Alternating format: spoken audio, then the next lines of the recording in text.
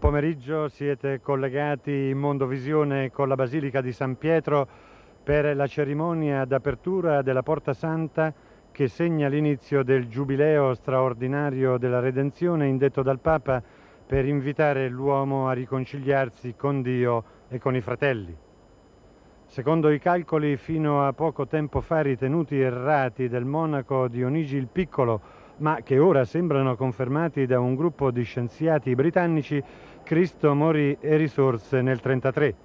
Dunque ricorre il 1950 anniversario della Redenzione e Giovanni Paolo II ha indetto tra la sorpresa generale questo giubileo straordinario proprio per chiedere al mondo una riflessione sul messaggio sempreverde di salvezza del cristianesimo. Se la passione, la morte e la risurrezione di Gesù è per i credenti un richiamo a vivere in una rinnovata conversione del cuore, il mistero della redenzione, che è liberazione dal peccato ed esaltazione suprema dell'uomo, per i non credenti è un invito a rivolgere per un momento lo sguardo a Cristo che può rispondere anche ai loro interrogativi, soprattutto alle loro angosce più profonde. Giovanni Paolo II ci ricorda che ogni cristiano è chiamato a realizzare più profondamente la sua vocazione alla riconciliazione col Padre nel Figlio ed aggiunge che si raggiungerà pienamente lo scopo soltanto se questo tempo forte che è l'anno santo sfocerà in un nuovo impegno al servizio della pace universale. Una fede e una vita autenticamente cristiane devono necessariamente sbocciare nella carità che promuove la verità, la giustizia, la difesa degli inalienabili diritti umani. Crediamo comunque che il Giubileo possa essere per tutti, anche per chi non ha la fede, un richiamo ai valori supremi dell'uomo. Tutti, indistintamente, avvertiamo con preoccupazione il progressivo impoverimento dell'uomo stretto tra materialismo e consumismo. Ognuno di noi, al di là della propria formazione culturale, è alla ricerca di qualcosa che possa dare un senso alla vita, che porti una ventata di speranze. Il Papa, vediamo il suo stemma pontificale, chiede di aprire le porte a Cristo, che con l'esempio della vita, con la passione e con la risurrezione può dare un significato all'esistenza dell'uomo compresi i non credenti che in lui, come scriveva di recente la civiltà cattolica, possono trovare motivi validi per la loro vita, il proprio lavoro, il proprio impegno per gli altri e in tal modo superare il sentimento tragico dell'inutilità, anzi dell'assurdità e del non senso della vita. Un anno santo dunque che si apre oggi e che si concluderà a Pasqua dell'anno prossimo, che deve vedere l'umanità sofferente e in grave pericolo impegnata in un grandioso sforzo di riconciliazione. Se pensiamo per un attimo alla situazione mondiale, ci rendiamo conto che l'orizzonte è denso di nubi minacciosi. Giovanni Paolo II, conversando una settimana fa in Abruzzo con gli operai, si è detto molto preoccupato, specialmente alla luce del suo recente pellegrinaggio centroamericano, nel corso del quale si è trovato di fronte a gravi violazioni del diritto alla vita e della dignità dell'uomo una preoccupazione che affiora in ogni discorso, in ogni messaggio, direi in ogni gesto di questo Papa che dal giorno dell'inizio del suo pontificato, il 22 ottobre 1978, non si stanca di ripetere che l'uomo deve aprire il cuore a Cristo Redentore dell'universo. A simboleggiare il sacrificio di Gesù che fu crocifisso per l'uomo, l'apertura della Porta Santa sarà preceduta da una processione con la croce che partirà dalla chiesina di Santo Stefano degli Abissini ai piedi dei giardini vaticani.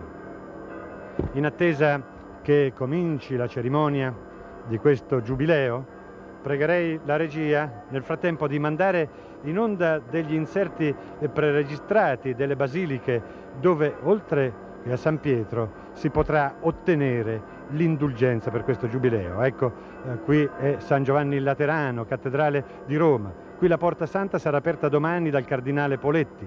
La chiesa, come San Pietro, ha origini costantiniane. Notizie esatte non se ne hanno fino al X secolo, quando la basilica fu ricostruita per ordine di Sergio III e fu dedicata al Battista. Successivamente fu arricchita e abbellita da altri papi Nel 1308 e nel 1360 due furiosi incendi distrussero San Giovanni. Urbano VI incaricò l'architetto senese Giovanni di Stefano di ricostruire la cattedrale di Roma, di cui vediamo ora la Porta Santa. Altri restauri furono eseguiti sotto i pontificati di Martino V e di Eugenio IV. Nel XVII secolo Innocenzo X incaricò il Borromini di riedificare il grandioso tempio dove si sono tenuti cinque concili. La Porta Santa di San Giovanni è stata la prima di cui si ha notizia. Fu aperta la notte di Natale del 1422 all'apertura del Giubileo del 423. Questa invece è Santa Maria Maggiore, costruita sul luogo dove in pieno agosto ci fu una, una miracolosa nevicata. Il primitivo tempio fu riedificato nel 432 da Sisto III a ricordo del dogma della Divina Maternità di Maria proclamato dal Concilio di Efeso. Nel XII secolo Eugenio III ampliò la costruzione aggiungendovi un portico. L'abside risale al 1290, mentre il campanile è del 1377. La Porta Santa in questa chiesa fu aperta per la prima volta nel 1500 come a San Pietro. Domani toccherà aprirla al decano del Sacro Collegio, il cardinale Carlo Confalonieri. L'attuale Basilica di San Paolo fuori le mura, eccola, è recentissima, fu consacrata da Pio IX nel 1854. La vecchia chiesa era stata distrutta da un incendio divampato il 15 luglio 1823. Anche a San Paolo, come a Santa Maria Maggiore e a San Pietro, la prima porta santa fu aperta nel Cinquecento. Quest'anno l'aprirà il camerlengo Cardinale Bertoli. In quei tempi, nel 1500, la basilica si trovava in piena campagna romana ed era esposta alle scorrerie dei banditi e ai contagi della peste. Secondo il Liber Pontificalis, la prima chiesa dedicata all'Apostolo delle Genti fu edificata da Costantino sul luogo dove la matrona Licinia aveva seppellito il corpo del santo dopo il martirio. Novità assoluta dell'anno santo della redenzione indetto da Giovanni Paolo II è l'inserimento negli itinerari devozionali della Basilica di Santa Croce in Gerusalemme che vediamo in queste immagini che custodisce preziose reliquie della passione di Cristo. Fu Sant'Elena a rinvenire sul Golgota frammenti della croce, i chiodi della crocifissione e le spine della corona che fu messa sul capo di Cristo. Costantino consentì alla madre di usare i fondi imperiali per costruire la chiesa. Sant'Elena avrebbe dato il via alla costruzione dell'opera prima ancora di partire per la Terra Santa dove, come abbiamo detto, nel 325 rinvenì le reliquie della Passione. Esaurito questo inserto preregistrato possiamo tornare in diretta, ecco il regista Franco Zeffirelli che inquadra il Redentore, la statua del Redentore che troneggia sulla Basilica Vaticana. Vi dicevo che il via di questa cerimonia di apertura del Giubileo avverrà in un luogo insolito, alla chiesa di Santo Stefano degli Abissini, una chiesina che sorge ai piedi del, dei giardini vaticani eh, proprio in prossimità dell'abside della Basilica di San Pietro.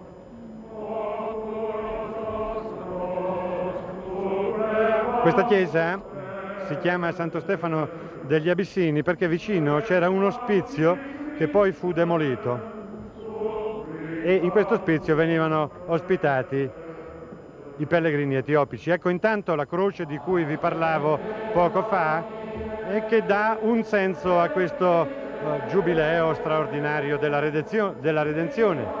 40 giovani di ogni parte porteranno la croce in questa posizione orizzontale dalla chiesina di Santo Stefano degli Abissini a destra sul teleschermo eh, fino all'atrio della Basilica Vaticana e poi dopo che il Papa avrà aperto la Porta Santa anche questa croce entrerà nella Basilica di San Pietro, la percorrerà in tutta la sua lunghezza e poi verrà deposta nell'abside della Basilica Vaticana.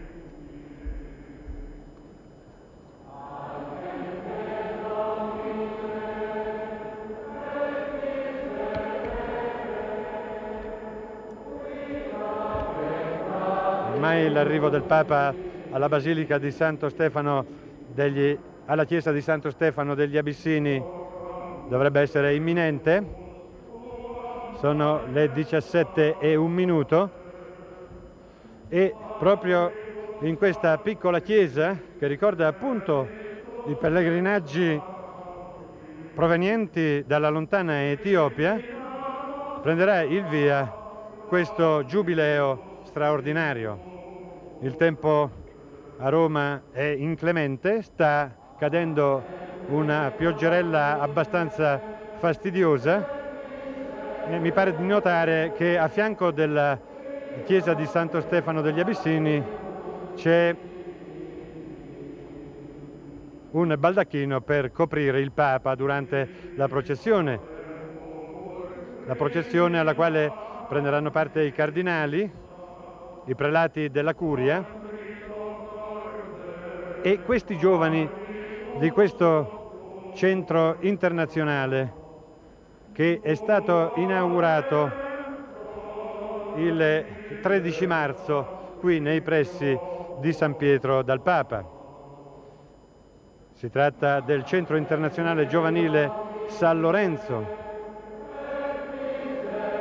che prende il nome dall'antica chiesa in una viuzza ai lati di Via della Conciliazione dove questo centro ha la sua sede. Vedete che anche fuori la Basilica Vaticana c'è folla per assistere, attraverso naturalmente gli altoparlanti, alla cerimonia dell'apertura della Porta Santa che si svolge, si svolge nel portico della Basilica. La Porta Santa è l'ultima a destra. Qui siamo sulla, sull'abside della Basilica Vaticana, si sta formando la processione che accompagnerà Giovanni Paolo II da Santo Stefano degli Abissini all'atrio della Basilica Vaticana.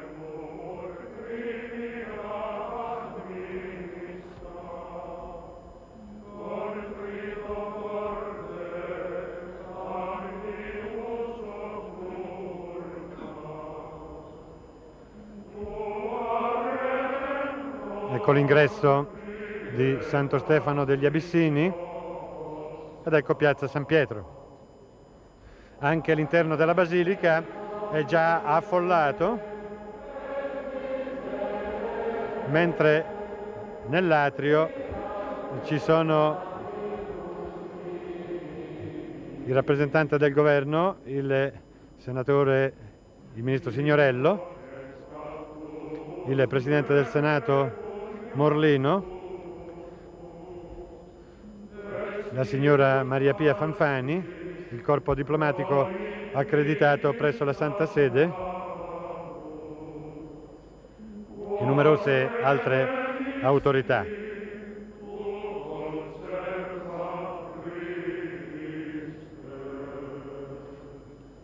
Il momento è solenne, fra pochi istanti prenderà il via la cerimonia di apertura dell'anno santo straordinario della Redenzione, indetto da Giovanni Paolo II,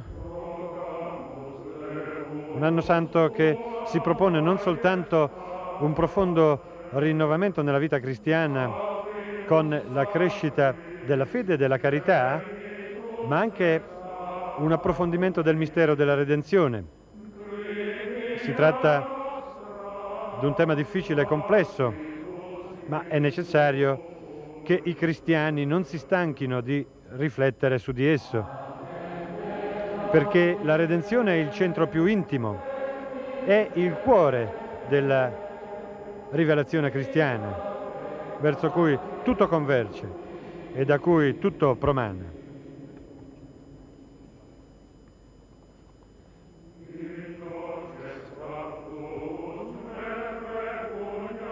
Nella bolla di indizione del Giubileo della Redenzione, Aperite Portas Redentori, pubblicata il 6 gennaio 1983, Giovanni Paolo II scrive che occorre riscoprire il senso del peccato e per giungere a ciò occorre riscoprire il senso di Dio.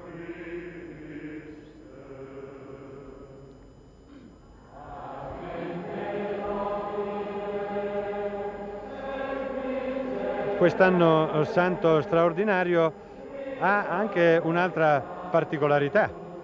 Mentre nel passato il giubileo veniva celebrato prima a Roma e poi nelle chiese locali, questo del 1983 viene celebrato contemporaneamente in tutte le diocesi e le parrocchie del mondo. Vedete, questa folla sul sagrato della Basilica Vaticana si dovrà accontentare di ascoltare la cerimonia dell'apertura della Porta Santa che avverrà al di là di quei cancelli. Domine Patris et Filii et Spiritus Sancti. Ecco Giovanni Paolo II che dà inizio alla cerimonia nella chiesa di Santo Stefano degli Abissini. Gratia vobis et pax a Deo Patre nostro ed a Domino Iesu Christo, qui dilexit nos et lavit nos a peccatis nostris in sanguine suo. Ipsi gloria in secula seculorum. Amen. Fratres, hic coadunati Il Papa dice, Fratelli, Siamo qui riuniti nella chiesa di Santo Stefano degli Abissini per iniziare un rito penitenziale nel momento in cui si sta per aprire con la porta santa l'anno giubilare della redenzione. Quam cerimoniam tam desideratam Ora, per partecipare degnamente a questa celebrazione tanto desiderata, che ci prepara alla celebrazione dell'Eucaristia, procediamo fino alla porta santa invocando su di noi peccatori la misericordia di Dio.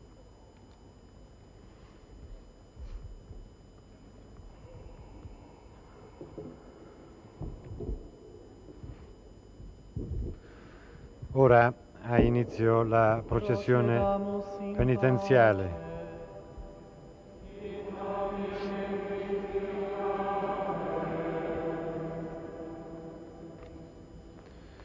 Durante questa processione verranno eseguiti dalla Cappella Sistina diretta da Monsignor Domenico Bartolucci vari canti in gregoriano, tra cui i salmi e le litanie dei santi. Si comincia con le litanie dei santi, mentre osserviamo i primi ragazzi del Centro Internazionale Giovanile San Lorenzo con la croce.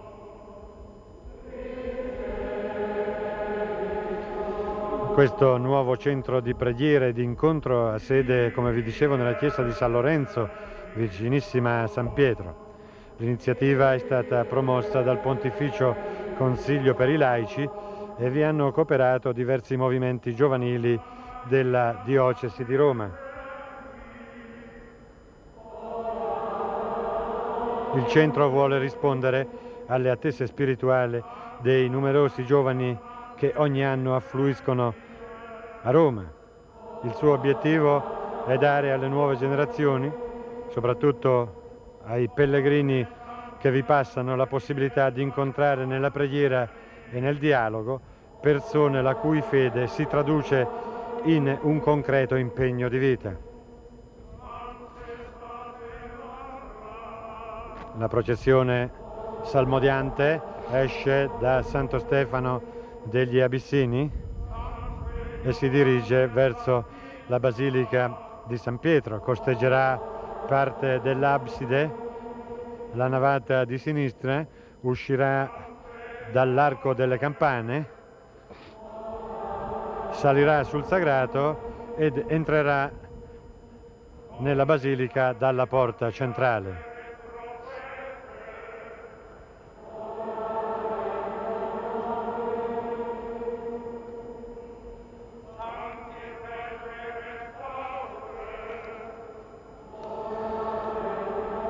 Questo giubileo straordinario della redenzione ha un precedente. Nel 1933 Pio XI, in occasione del 1900 anniversario della passione, morte e risurrezione di Cristo, indisse un giubileo straordinario che fu aperto il 2 aprile, domenica di Passione. Il giubileo durò fino al 2 aprile dell'anno successivo.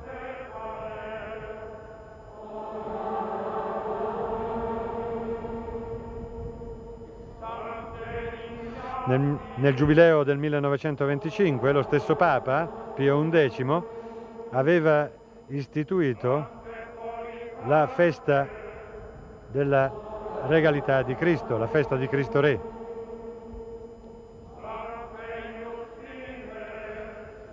Ecco uno dei momenti più toccanti di questa cerimonia, i giovani che portano la croce per ricordare il sacrificio di Cristo per la salvezza dell'uomo.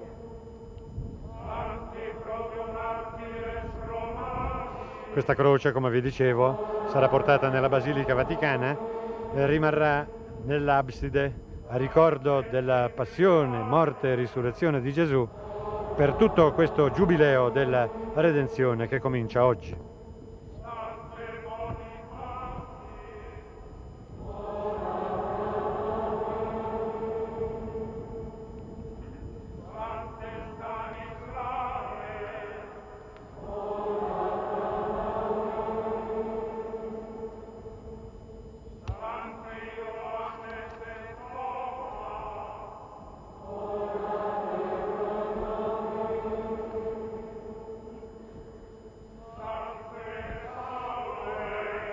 Lati della croce vedete i giovani che quasi in una staffetta spirituale si danno il cambio nel portare il simbolo della passione.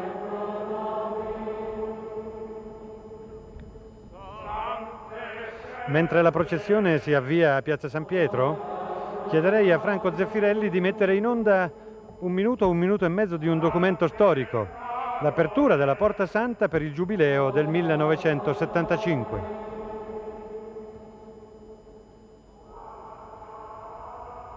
Aperitemi chi porta giustizia, ingresso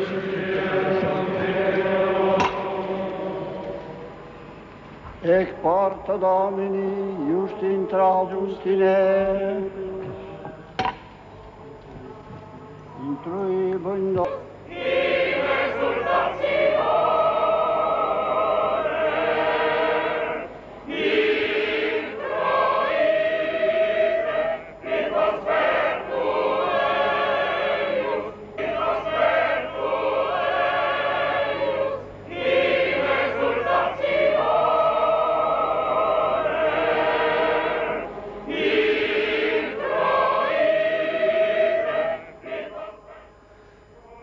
Questo era un momento storico, l'apertura della Porta Santa dell'anno giubilare 1975, apertura che avvenne sotto l'occhio impietoso delle telecamere, per la prima volta sotto l'occhio impietoso delle telecamere, la notte di Natale del 1974. Questo è il secondo anno santo televisivo il primo fu appunto quello del 1975, sia la cerimonia di apertura sia eh, quella di chiusura furono trasmesse in Mondovisione. Oggi, grazie ai progressi della tecnologia televisiva, tutti i paesi del mondo possono ricevere queste immagini che state vedendo sui vostri eh, schermi domestici. Noi siamo collegati in Mondovisione con molte parti del globo gli spettatori potenziali sono oltre un miliardo, pensate, oltre un miliardo di persone in questo momento possono vedere a casa l'apertura del Giubileo, Giubileo che ebbe inizio nel 1300, fu Bonifacio VIII a indirre sotto la pressione popolare il primo Giubileo della storia cristiana. I Romei, i pellegrini che venivano a Roma per eh, pregare sulle tombe degli Apostoli e per vedere la Veronica, il volto di Cristo impresso su un lenzuolo, chiesero a gran voce un'indulgenza particolare in occasione della fine del secolo. Papa Bonifacio rimase un po' stupito, si consultò con i suoi collaboratori, con i cardinali, non voleva indire questo giubileo, ma poi sotto la pressione del popolo il 22 febbraio del 1300 promulgò la bolla di indizione del primo anno santo cristiano. Nell'Antico Testamento si hanno notizie del giubileo. Precisamente bisogna leggere un brano del Levitico che racconta ciò che Dio disse a Mosè sul Sinai. Il Signore disse a Mosè, conterai sette settimane di anni, cioè sette volte sette anni. Queste sette settimane di anni faranno un periodo di 49 anni. Al decimo giorno del settimo mese farai squillare la tromba dell'acclamazione. Nel giorno dell'espiazione farete squillare la tromba per tutto il paese dichiarerete santo il cinquantesimo anno e proclamerete la liberazione nel paese per tutti i suoi abitanti. Giobel era la tromba del giubileo, una tromba di gioia, una tromba di giustizia. Ecco Giovanni Paolo II che esce da Santo Stefano degli Abissini e si avvia processionalmente a San Pietro per rinnovare il rito antico dell'apertura della Porta Santa. Vi dicevo prima che la prima Porta Santa fu aperta a San Giovanni il Laterano, questa di San Pietro fu aperta per la prima volta nel 1500.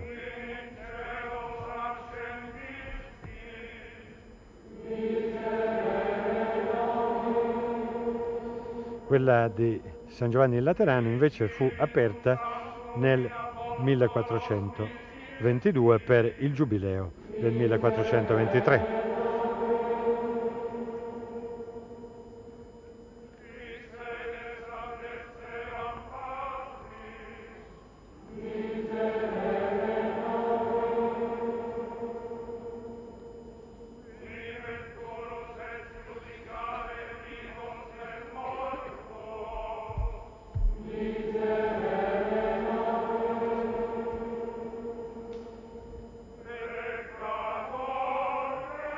L'apertura dei battenti come del resto il passaggio dei pellegrini attraverso la Porta Santa ha un significato unicamente simbolico. La porta, secondo un'immagine evangelica, è Cristo.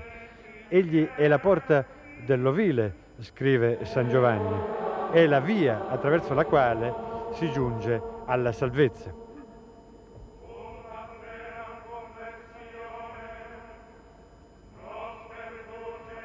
Il fatto che non venga aperta se non dopo i tradizionali colpi di martello ha anche esso un significato simbolico.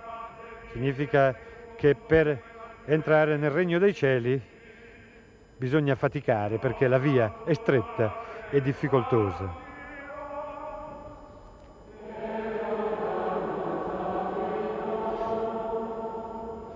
Processione si sta avviando lentamente verso la Basilica di San Pietro. Altri giovani hanno preso la croce, simbolo della redenzione, e anche simbolo di tanti mali che affliggono l'umanità in questi momenti difficili ogni uomo porta la sua croce.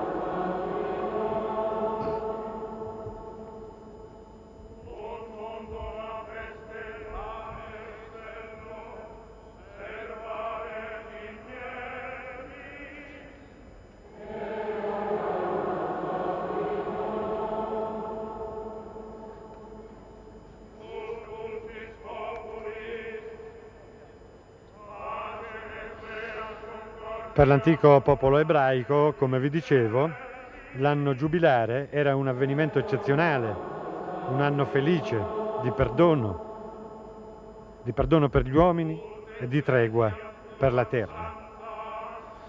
Se il Vecchio Testamento poneva al centro dei benefici del giubileo i beni materiali, il nuovo privilegia i valori spirituali. Rimettere i debiti, infatti, per la dottrina cristiana assume il preciso significato di perdonare i peccati. Quando Bonifacio VIII indisse il primo giubileo dell'era cristiana, pensò forse non soltanto alle penitenze spirituali, come il sacramento della confessione o la recita delle preghiere, ma anche ai sacrifici materiali. Basterà pensare che in quei tempi lontani, pieni di insidie, affrontare un lungo viaggio per raggiungere le basiliche romane rappresentava un rischio notevole. Essere pellegrini, insomma, era una grande penitenza. Molti non riuscivano nemmeno a giungere a Roma, altri, ottenuta l'indulgenza, morivano sulla via del ritorno, altri ancora erano dati per dispersi in, non, in quanto non facevano più avere notizie ai loro parenti. Le strade che portavano a Roma erano maltenute e insicure. Avventurarsi lungo queste antiche vie era per tutti un sacrificio enorme. Dunque, all'origine, il giubileo cristiano fu concepito e come momento di preghiera e di meditazione, ma anche come penitenza fisica. Viaggiare, infatti, era molto duro e periglioso. La croce è giunta nell'atrio della Basilica di San Pietro, dove c'è una piccola folla ad attendere l'apertura della Porta Santa. Ecco, vedete che il baldacchino che prima avevamo visto appoggiato a fianco della chiesa di Santo Stefano degli Abissini ripara il Papa dalla pioggia. Il Papa è preceduto da numerosi cardinali.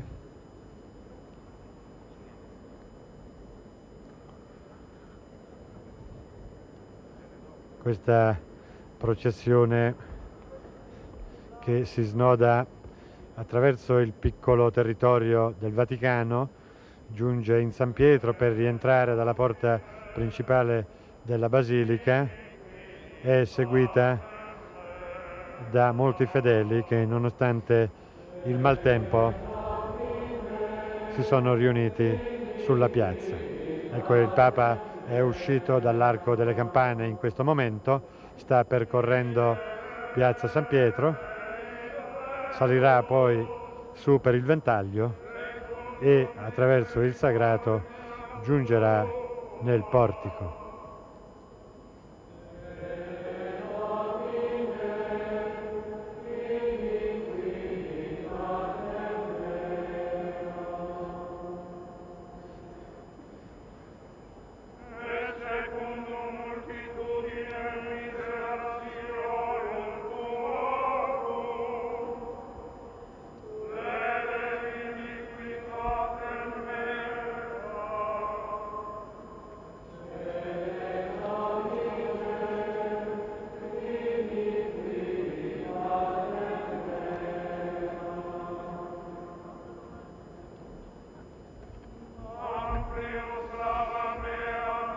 Cardinali che affiancano il Papa sono due nuovi membri del Sacro Collegio.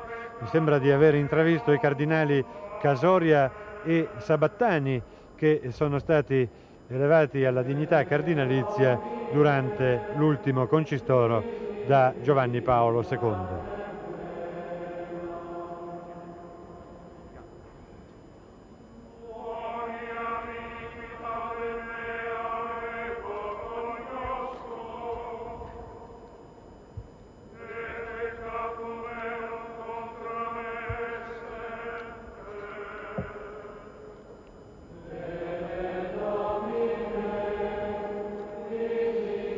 Noterete che Giovanni Paolo II indossa paramenti sacri nuovissimi, sono stati realizzati da un pittore tedesco che ha anche creato la medaglia annuale del quinto anno di pontificato di Giovanni Paolo II.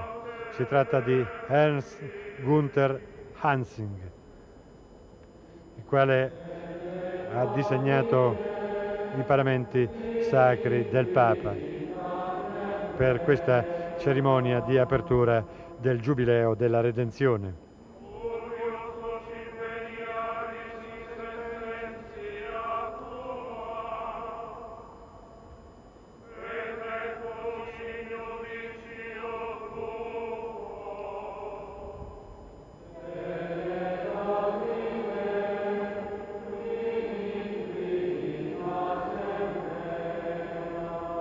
Cominciano oggi dieci giorni molto impegnativi per il Papa.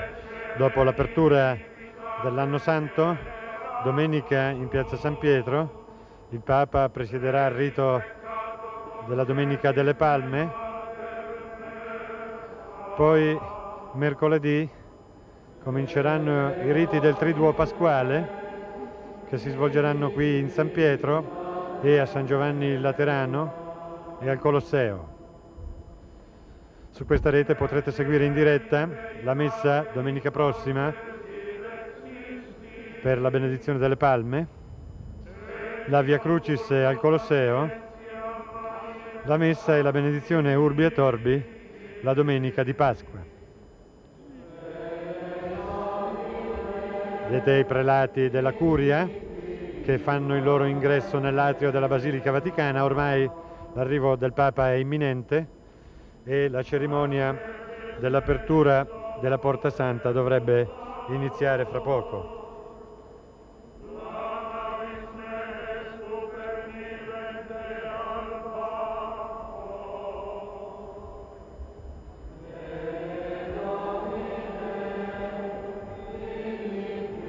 La cerimonia comincerà con un'invocazione della Scuola Cantorum allo Spirito Santo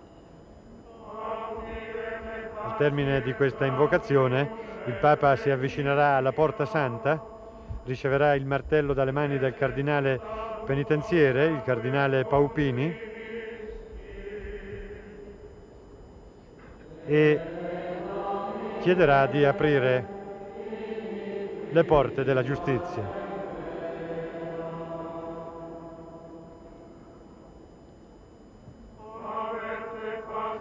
Anche il rito dell'apertura della Porta Santa presenta quest'anno delle novità. Poco fa vi abbiamo fatto vedere l'apertura della Porta Santa in occasione del Giubileo del 1975. Veniva aperta la porta con un complicato sistema di carrucole, mentre eh, quest'anno, come fra poco potrete vedere, l'apertura avverrà molto più semplicemente perché il muro che era stato eretto a chiusura del giubileo del 75 è stato già rimosso.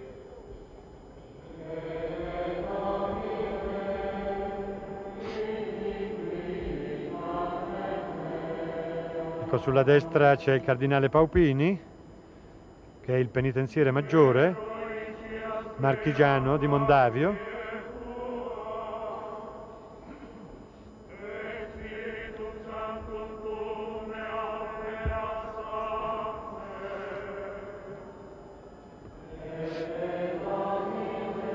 I cardinali che assistono il Papa sono il cardinale Sabattani, lo vedete sulla destra, e Casoria a sinistra.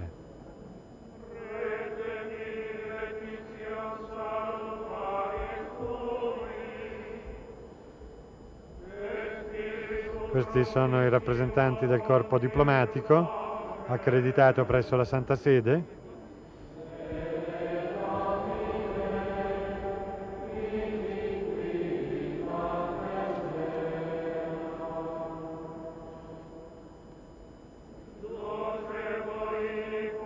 Sulle pareti dell'atrio della Basilica, sul lato della Porta Santa, figurano tre splendidi arazzi con l'Annunciazione, la presentazione di Gesù al Tempio e la Pentecoste con Maria presente nel cenacolo.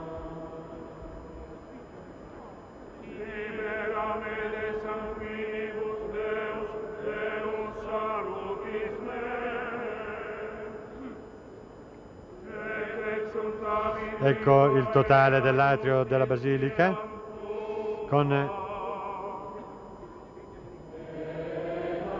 il trono papale giù in fondo.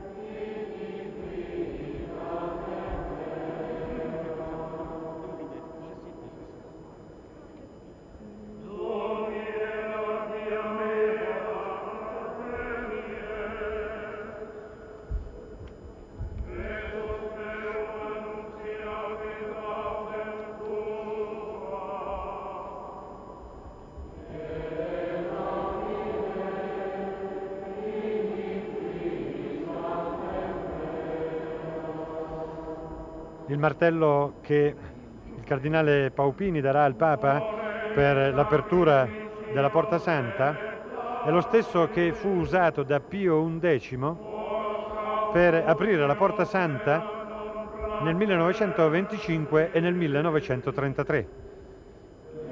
Il martello era stato donato al Papa dall'Azione Cattolica. Fu forgiato con vari materiali dallo scultore romano Pio Cellini è lungo 34 cm. Ci sono incisi gli stemmi di Pio XI dell'azione cattolica e la scritta Pax Christi in Regno Christi.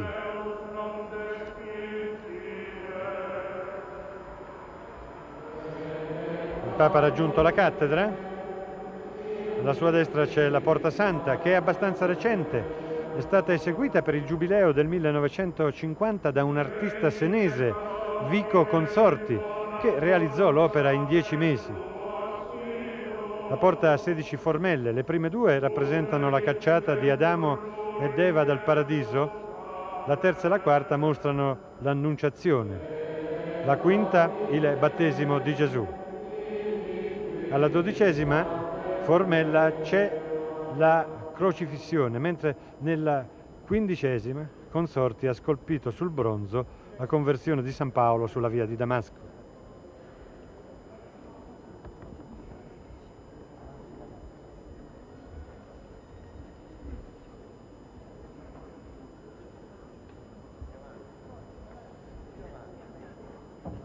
Inizia il rito per l'apertura della Porta Santa del Giubileo 1983.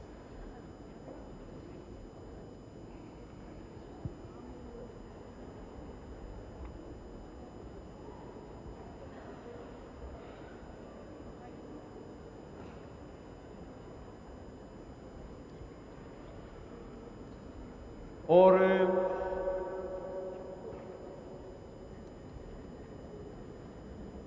Domine Deus Pater Indulgentiarum, il Papa dice, Signore Dio, Padre di misericordia, tu che concedi alla tua Chiesa questo tempo di penitenza e di perdono, perché essa abbia la gioia di rinnovarsi interiormente per opera dello Spirito Santo e di camminare sempre più avanti nelle tue vie, restando in mezzo al mondo un segno di salvezza e di redenzione, degnati di rispondere alle nostre attese. Aprici completamente la porta della tua misericordia per schiuderci un giorno le porte della tua abitazione in cielo, dove Gesù, tuo figlio, è primo della stirpe degli uomini, ci ha preceduto per poter tutti insieme cantare a te in eterno. Per Christum Dominum nostrum.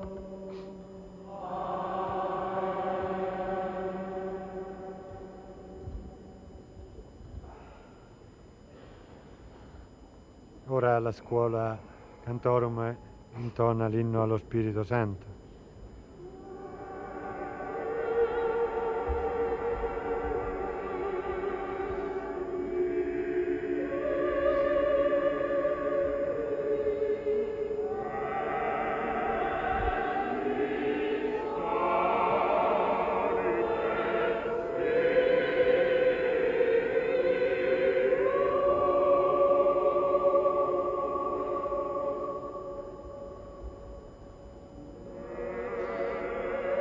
Ecco, il regista Franco Zeffirelli ha scoperto la Porta Santa che fra pochi istanti verrà aperta da Giovanni Paolo II.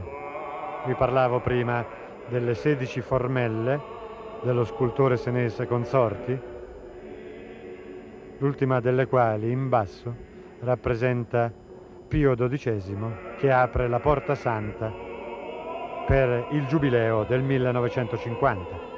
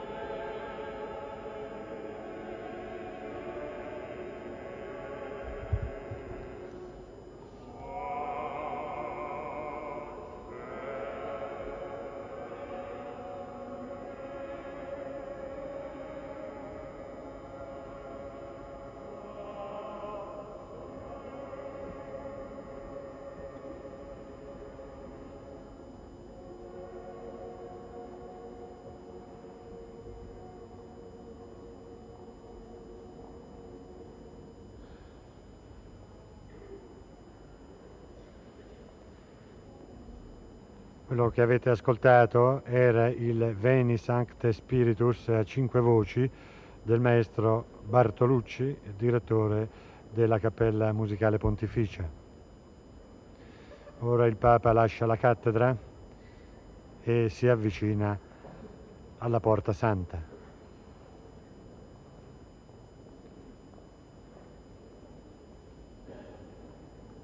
Ancora pochi istanti poi quella che nel passato fu chiamata la porta del Gran Perdono si aprirà ancora una volta.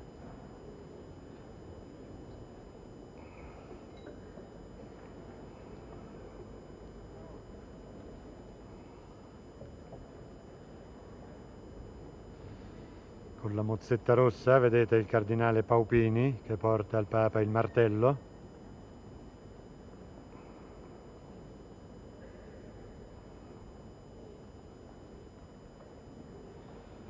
Sono momenti di intensa emozione. Ecco il cardinale Paupini che dà a Giovanni Paolo II il martello già usato da Pio XI nel 25 e nel 33.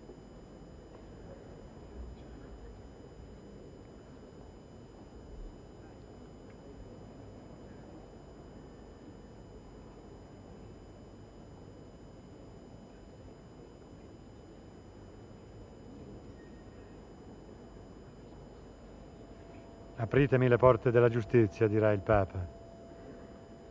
Voglio entrarvi e rendere grazie al Signore. portas justitiae.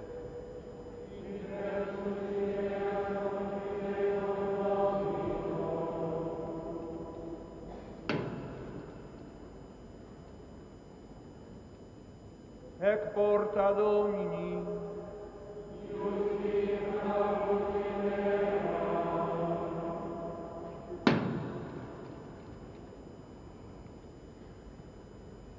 Introivo in domum tuam Domine.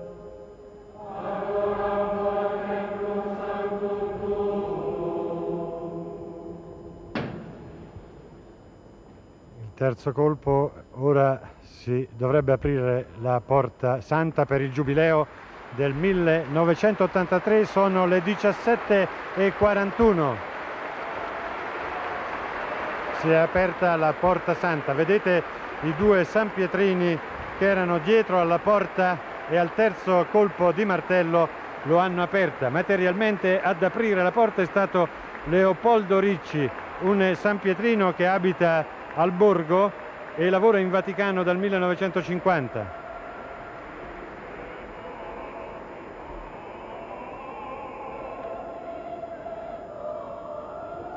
È la prima volta che la Porta Santa di San Pietro viene aperta come una normale porta, come avete potuto vedere nell'inserto preregistrato che vi abbiamo mostrato prima di questa cerimonia, nel 74, all'apertura del Giubileo del 75, Paolo VI colpì tre volte il muro che era stato precedentemente segato e che cadde su una carrucola. Ci fu anche qualche calcinaccio che finì sui paramenti di Papa Montini. Questa volta invece un San Pietrino al terzo colpo di martello di Giovanni Paolo II ha aperto da dietro la Porta Santa, in quanto il muro era stato rimosso nei giorni precedenti. I mattoni del muro che sigillavano la Porta Santa sono depositati presso gli uffici della fabbrica di San Pietro. I mattoni vengono divisi in due categorie. La prima costituita da quelli recanti il nome dei proprietari che li hanno offerti e ai quali verranno consegnati. La seconda, costituita dai mattoni senza nome che vengono numerati progressivamente a partire dal numero 1.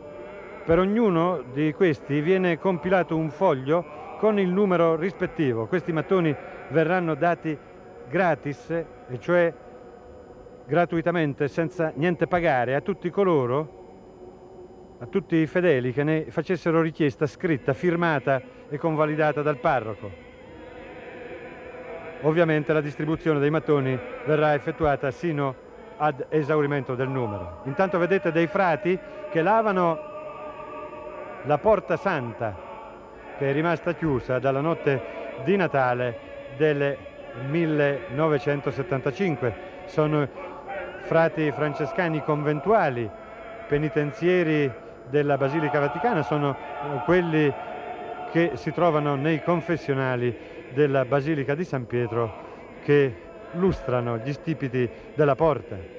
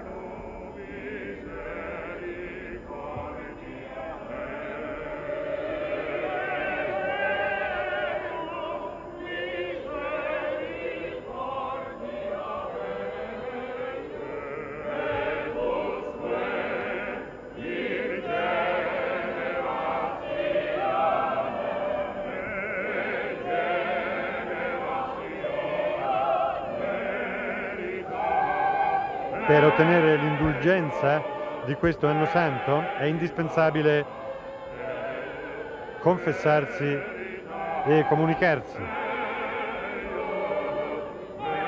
Poi i pellegrini che vengono a Roma possono scegliere fra una visita alle basiliche di San Pietro, di San Paolo fuori le mura, Santa Maria Maggiore, San Giovanni Laterano, Santa Croce in Gerusalemme oppure in una catacomba, oppure partecipare ad un'udienza generale del mercoledì del Papa che da mercoledì prossimo si trasformerà in una liturgia della parola.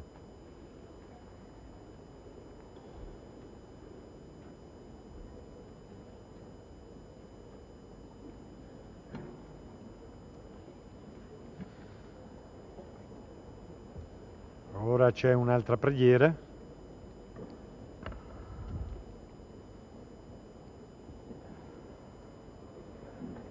Prima del passaggio attraverso la Porta Santa.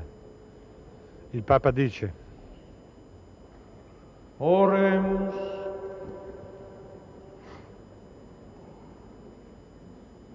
Deus qui per Moisen, O Dio, che per mezzo di Mosè hai istituito per il tuo popolo l'anno del giubileo e della rimissione, concedi propizio alla tua Chiesa di vivere lietamente il momento propizio, nel quale hai voluto aprire questa porta ai tuoi fedeli, perché vi entrino e innalzino a te le loro preghiere. Così che impetrati il perdono, l'indulgenza e la piena remissione delle colpe, camminino speditamente in una vita nuova, secondo il Vangelo del tuo Figlio, e possano arrivare alla celeste gloria nella tua dimora. In novitate vite, secundum Evangelium Filii Tui ala, ed a celestem gloriam, in domo Tua valeant pervenire, per Christum Dominum nostrum.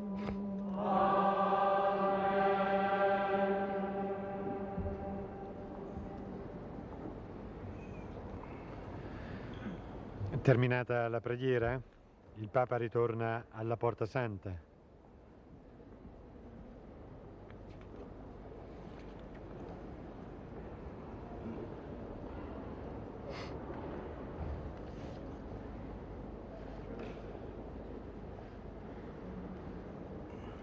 Giovanni Paolo II sarà il primo pellegrino di questo giubileo straordinario della redenzione.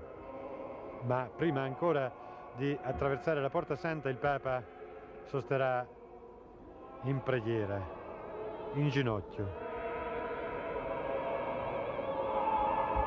all'ingresso della porta.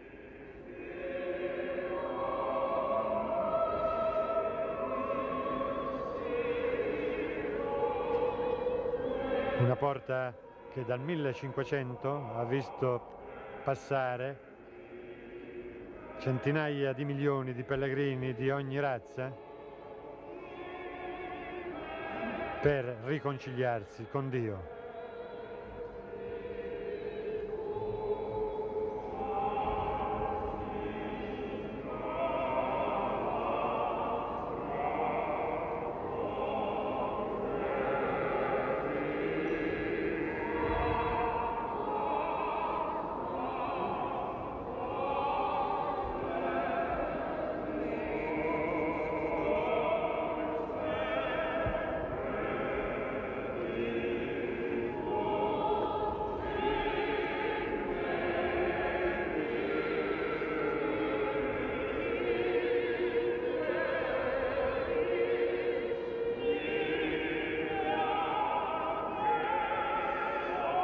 Come tutti i pellegrini, bacia lo stipite della Porta Santa.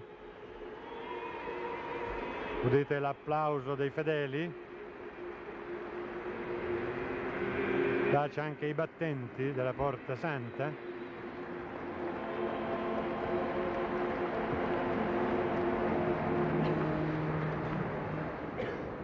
Ed entra attraverso la porta del Gran Perdono nella Basilica Vaticana dove all'altare della confessione celebrerà la messa dell'Annunciazione. Oggi la Chiesa infatti celebra la festa dell'Annunciazione.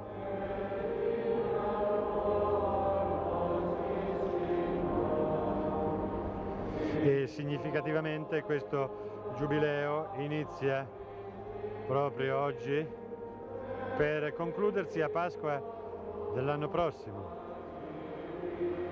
Tutta la storia della redenzione sarà dunque compresa in questo anno santo voluto da Papa Wojtyła.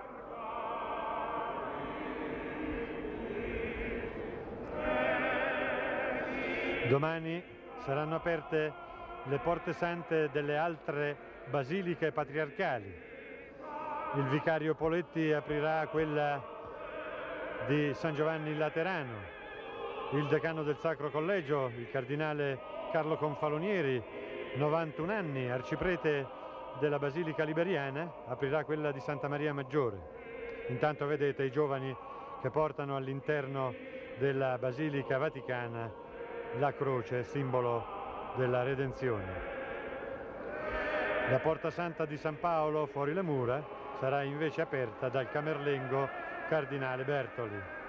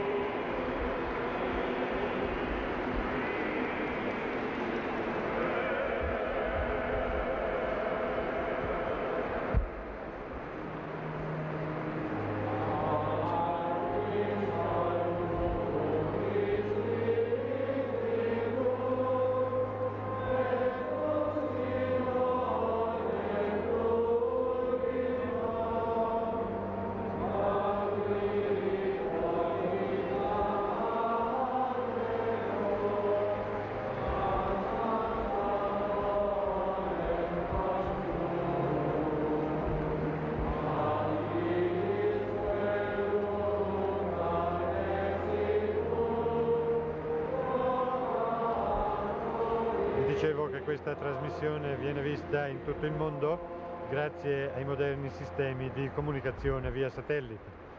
In Europa, oltre ai telespettatori italiani, possono assistere all'apertura della Porta Santa anche quelli di Austria, Belgio, Germania, Olanda e Portogallo. Negli Stati Uniti d'America, dove è circa mezzogiorno, la trasmissione è sugli schermi di una delle tre più grandi catene televisive nazionali, la CBS.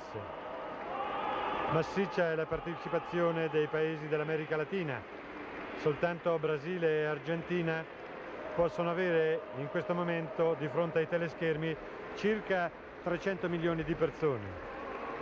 Interessante notare che la solenne cerimonia dell'apertura del Giubileo della Redenzione viene trasmessa anche dalle televisioni di paesi come il Giappone dove i cristiani sono una esigua minoranza. Intanto potete osservare questa magnifica immagine ripresa da una telecamera nascosta sopra l'altare della cattedra di San Pietro.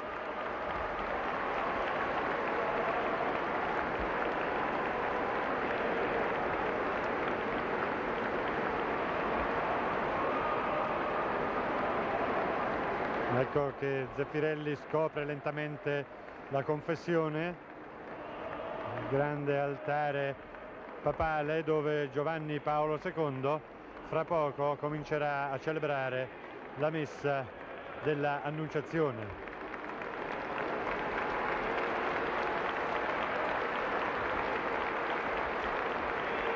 Transita ora per la Porta Santa l'ambasciatore presso la Santa Sede del Guatemala, decano del corpo diplomatico.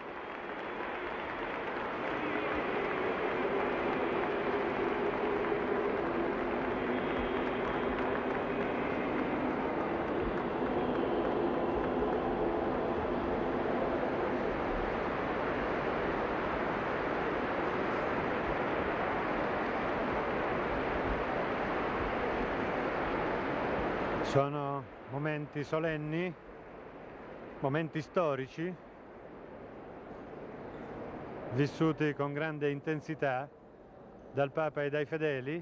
Il Papa non rinuncia nemmeno oggi al contatto con la folla, con i fedeli. Si è fermato a salutare alcune suore della famiglia di Madre Teresa di Calcutta. Ancora un momento rivolto ai poveri.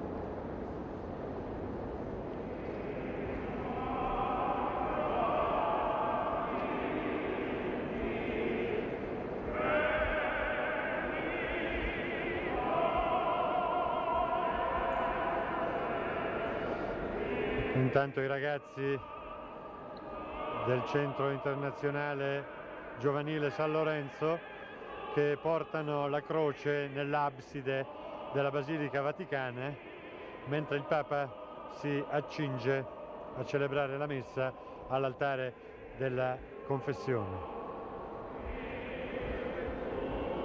Vi dicevo che questa croce rimarrà per tutta la durata del Giubileo nella Basilica di San Pietro.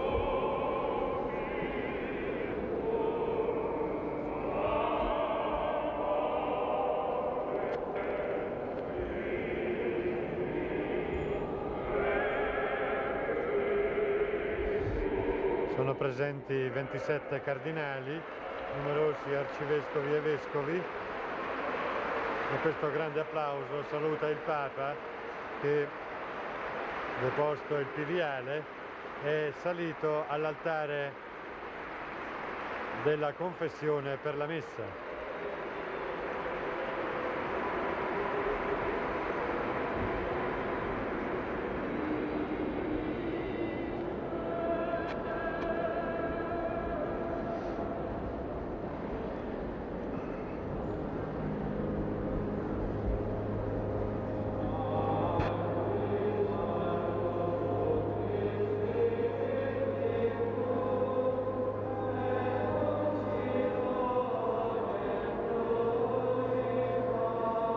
Intanto dalla Porta Santa stanno passando i primi pellegrini, le personalità cioè che hanno assistito alla solenne cerimonia di apertura del Giubileo.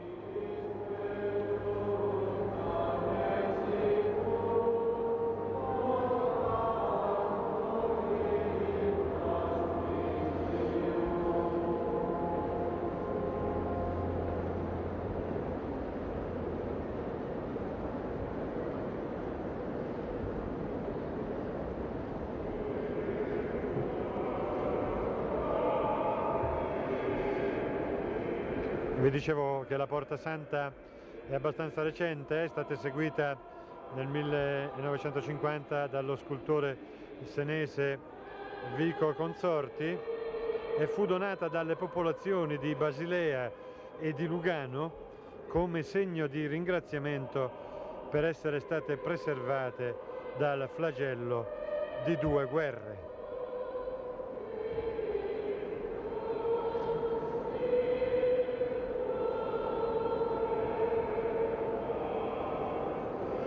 Dicevo anche che alla cerimonia c'è per il governo italiano il ministro Nicola Signorello, è presente anche il presidente del Senato Morlino e la consorte del presidente del Consiglio, la signora Maria Pia Fanfani.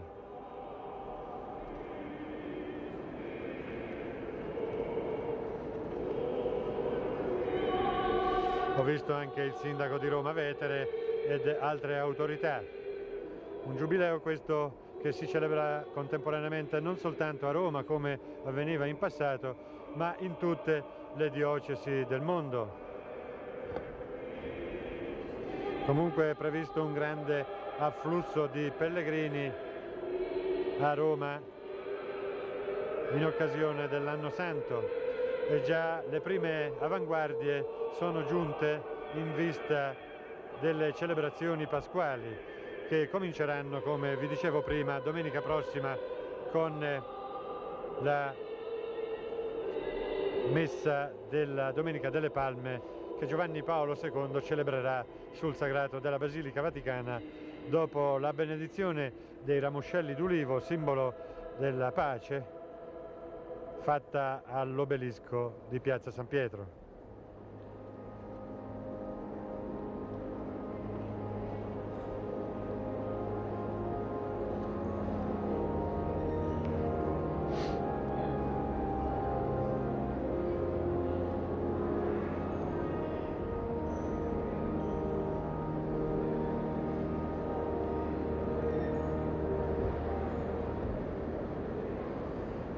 Ha inizio la messa dell'Annunciazione.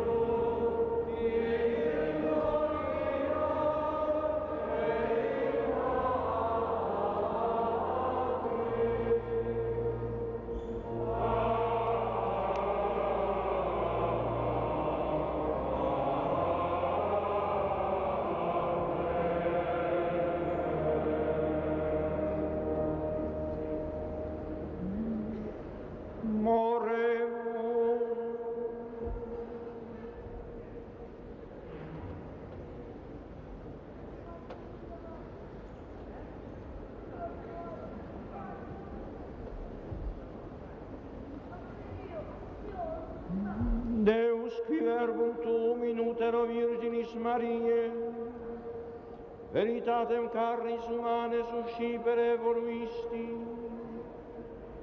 concede quesumus, ut qui redemptorem nostrum, Deum et hominem conviteum, ipsius etiam divine nature mereamur esse consorte, per Dominum nostrum Iesum Christum virium Tuum, vivit et regnat in unidade Spiritus Sancti Deus, per omnia saecula saeculorum.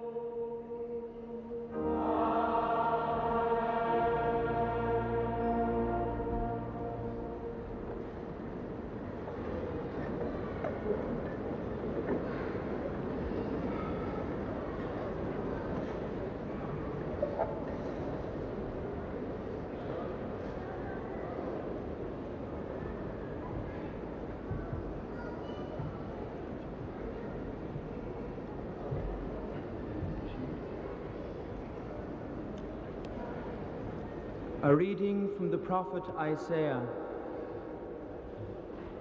The Lord spoke to Ahaz and said, La prima lettura è tratta dal libro del profeta Isaia. In quei giorni il Signore parlò ad Acaz.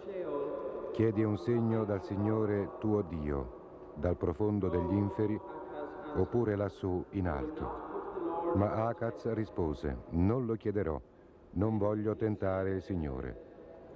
Allora Isaia disse, ascoltate, casa di Davide, non vi basta stancare la pazienza degli uomini, perché ora vogliate stancare anche quella del mio Dio? Pertanto il Signore stesso vi darà un segno. Ecco, la Vergine concepirà e partorirà un figlio che chiamerà Emanuele, cioè Dio con noi.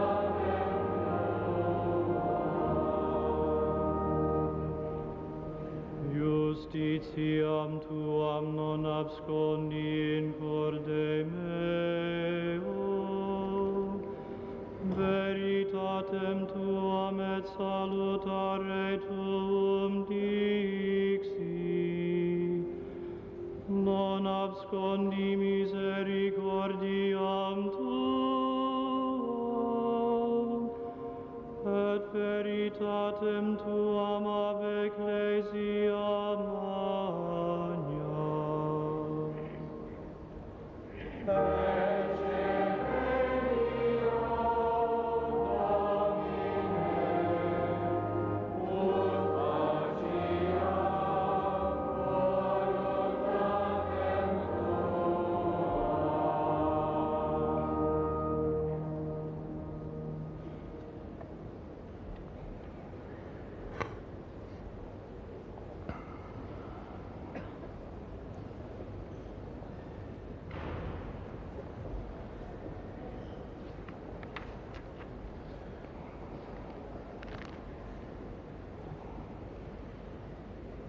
Lectura de la carta a los Hebreos.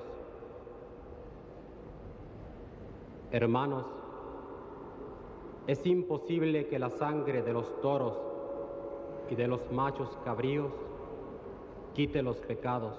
Fratelli, è impossibile eliminare i peccati con il sangue di tori e di capri.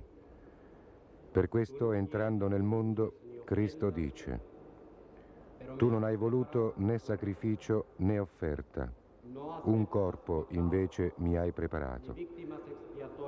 Non hai gradito né lo- olocausti né sacrifici per il peccato. Allora ho detto, ecco, io vengo, poiché di me sta scritto nel rotolo del libro, per compiere, o Dio, la tua volontà. Dopo aver detto, non hai voluto e non hai gradito né sacrifici, né offerte, né olocausti, né sacrifici per il peccato, cose tutte che vengono offerte secondo la legge, soggiunge, ecco, io vengo a fare la tua volontà. Con ciò stesso, egli abolisce il primo sacrificio per stabilirne uno nuovo. Ed è appunto per quella volontà che noi siamo stati santificati per mezzo dell'offerta del corpo di Gesù Cristo fatta una volta per sempre.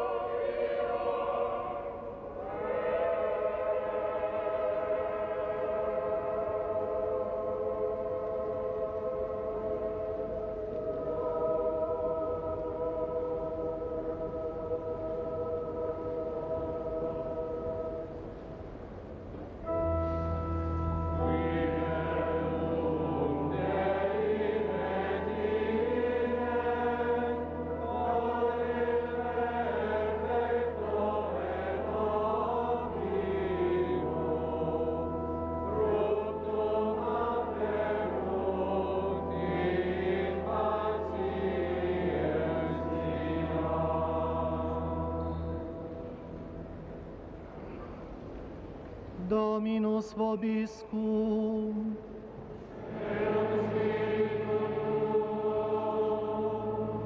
Lectio Sancti Evangelii secundum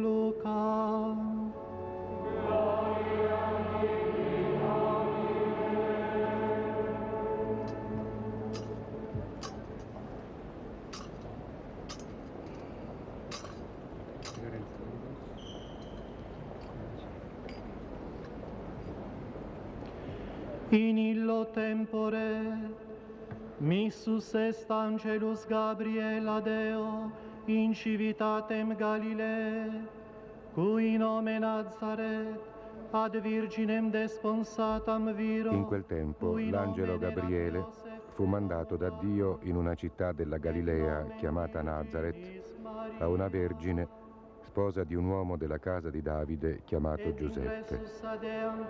La vergine si chiamava Maria. Entrando da lei disse, Ti saluto, o piena di grazia, il Signore è con te.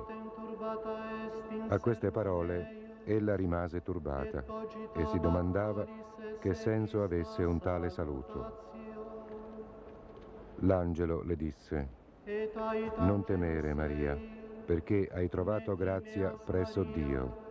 Ecco, concepirai un figlio, lo darai alla luce e lo chiamerai Gesù. Sarà grande e chiamato figlio dell'Altissimo. Il Signore Dio gli darà il trono di Davide suo padre e regnerà per sempre sulla casa di Giacobbe e il suo regno non avrà fine. Allora Maria disse all'angelo, com'è possibile? Non conosco uomo. Le rispose l'angelo, lo Spirito Santo scenderà su di te, su te stenderà la sua ombra, la potenza dell'Altissimo. Colui che nascerà sarà dunque santo e chiamato figlio di Dio. Vedi, anche Elisabetta, tua parente, nella sua vecchiaia, ha concepito un figlio. E questo è il senso mese per lei, che tutti dicevano sterile. Nulla è impossibile a Dio. Allora Maria disse, Eccomi, sono la serva del Signore, avvenga di me quello che hai detto. E l'angelo partì da lei. Et ecce Elisabeth cognata tua, et ipsa concepit filium in senecta sua, et hic mensis est extus illi, quae vocatur sterilis, quia non erit impossibile apud eum omne verbum. Dixit aute Maria, ecce ancilla Domini, fiat mihi secundum verbum tuum. Et discesit abi l'angelus, verbum Domini.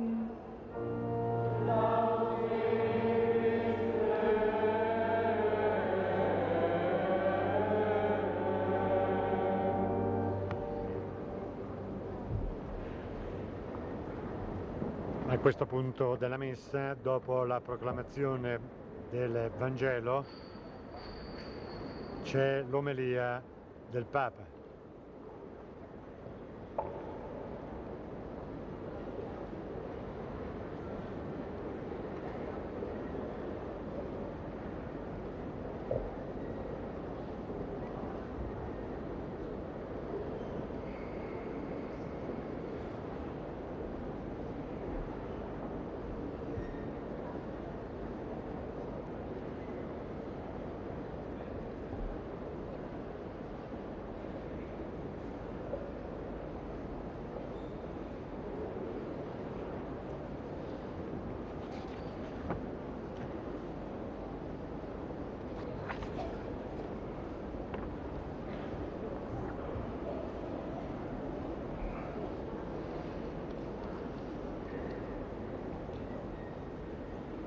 Sia lodato Gesù Cristo.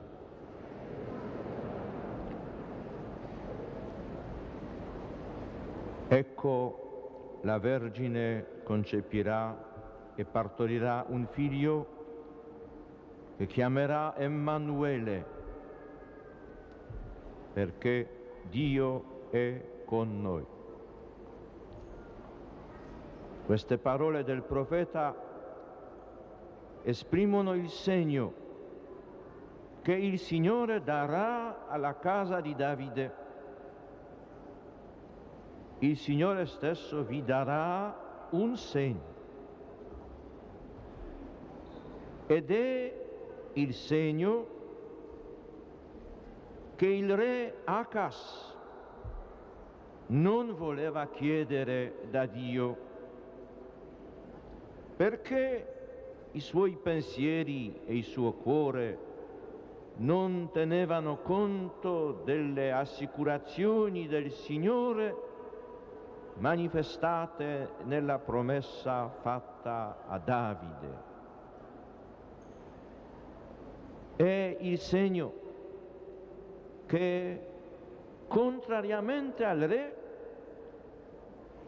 proclamò alla casa di Davide il profeta Isaia,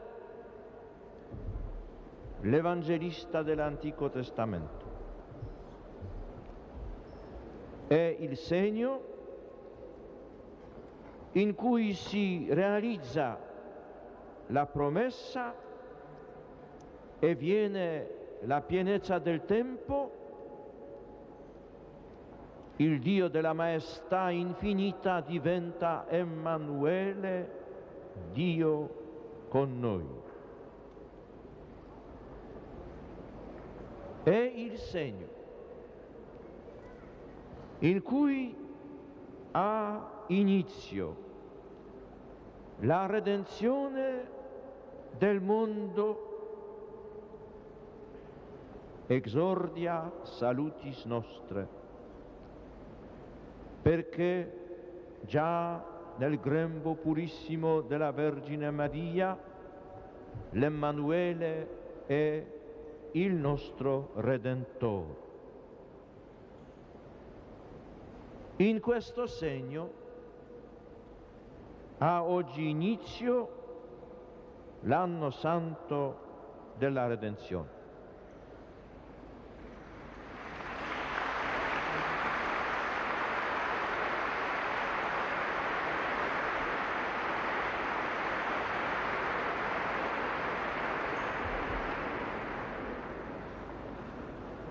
Ecco, viene aperta la porta del giubileo straordinario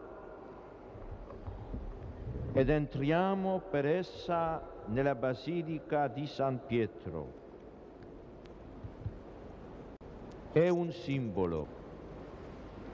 Con questi pensieri e voti viene aperta la porta del giubileo straordinario ed entriamo attraverso di essa nella Basilica di San Pietro e contemporaneamente in tutte le cattedrali vescovili, in tutte le chiese parrocchiali, in tutte le cappelle, anche nelle terre più lontane, specialmente in quelle delle missioni. Entriamo in tutte le comunità cristiane, quali che siano, e dovunque esse siano al mondo,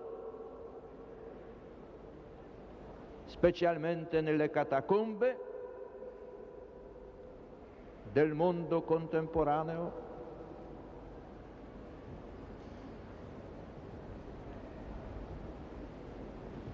Il giubileo straordinario della redenzione è l'anno santo di tutta la Chiesa.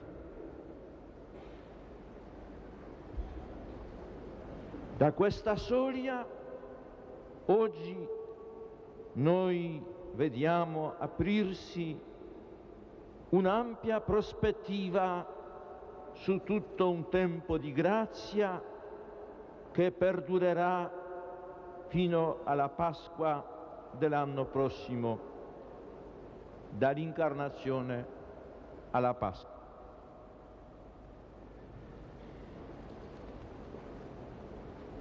Alla soglia dell'anno giubilare della Redenzione, la liturgia dell'odierna solennità ci proclama il compimento di quel segno che, secondo le parole del profeta Isaia, doveva essere dato alla casa di Davide.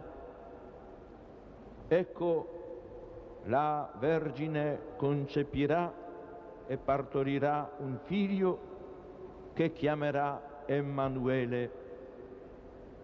E così avviene. Il segno è compiuto e prende forma nel mistero dell'Annunziazione. Conosciamo bene questa forma. Noi amiamo profondamente l'Annunciazione angelica Ritorniamo ad essa tre volte al giorno con la preghiera dell'Angelus. Essa è l'invocazione delle nostre labbra, è il canto dei nostri cuori. Essa ci riporta continuamente a quella annunciazione a Maria, nella cui solennità che associa il figlio e la madre nel mistero dell'incarnazione, vediamo pure il momento più adatto per dare inizio all'anno della redenzione. Nell'Annunziazione infatti si è avuto l'inizio della redenzione del mondo. L'Emanuele, Dio con noi, è quel Cristo che nella lettera agli ebrei parla al Padre. Tu non hai voluto né sacrificio né offerta, un corpo invece mi hai preparato. Non hai gradito né olocausti né sacrifici per il peccato allora ho detto, ecco, io vengo per fare, o oh Dio, la tua volontà. Così dice Cristo, Verbo eterno del Padre, figlio suo prediletto. In queste parole sta l'inizio della redenzione del mondo e tutto il suo disegno fino alla fine. La redenzione del mondo è legata a quel corpo ricevuto da Maria ed offerto nel sacrificio della croce, divenuto poi il corpo della risurrezione, il primogenito dei morti.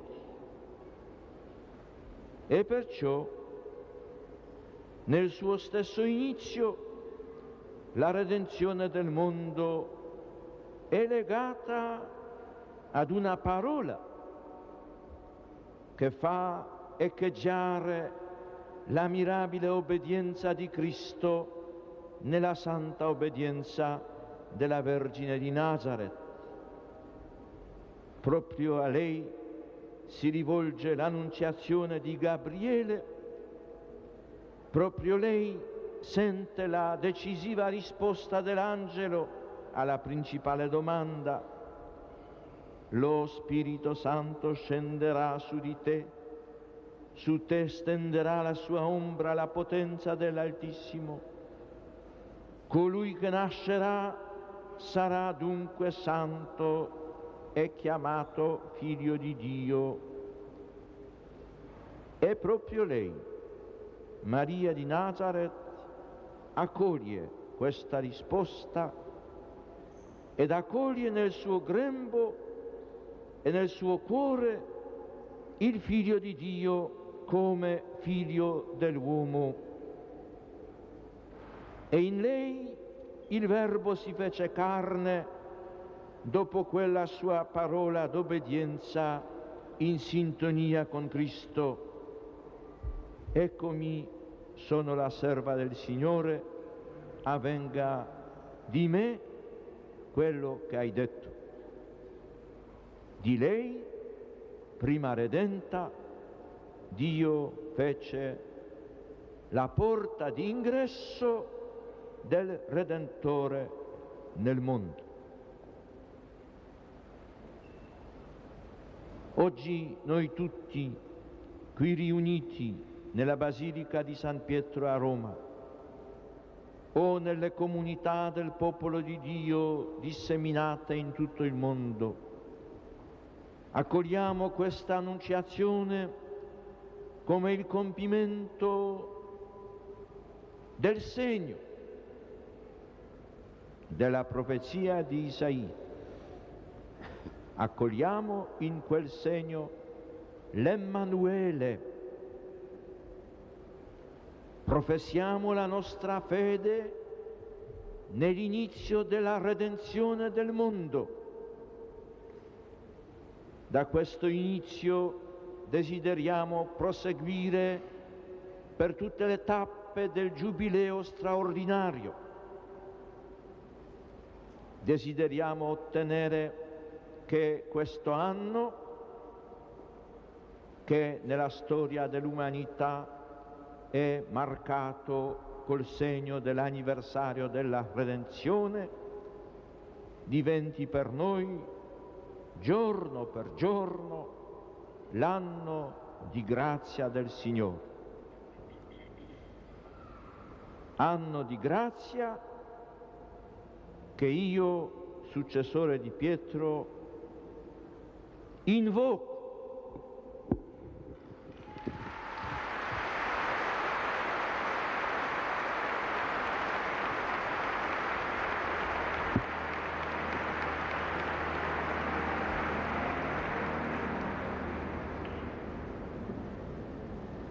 Invoco da te, Signore, di ogni epoca e di tutta la storia,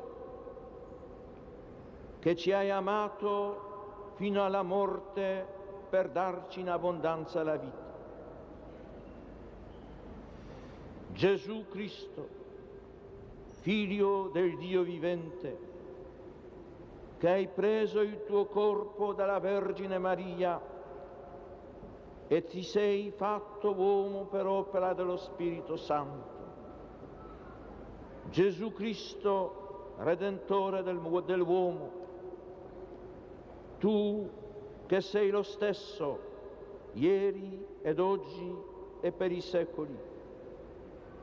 Accogli questo anno del giubileo straordinario che ti offre la tua Chiesa per celebrare il 1950 anniversario della tua morte e risurrezione per la redenzione del mondo. Tu che dell'opera della redenzione hai fatto la sorgente di un dono sempre nuovo per la tua sposa terrena. Fa penetrare la sua forza salvifica in tutti i giorni, le settimane e i mesi di questo anno, affinché esso diventi per noi veramente l'anno di grazia del Signore. Fa che noi tutti, in questo tempo d'elezione, ancor più amiamo Te, rivivendo in noi stessi i misteri della Tua vita, dal concepimento e dalla nascita fino alla croce e alla risurrezione. Sii con noi mediante questi misteri. Sii con noi nello Spirito Santo. Non ci lasciare orfani. Ritorna sempre a noi. Fa sì che tutti si convertano all'amore,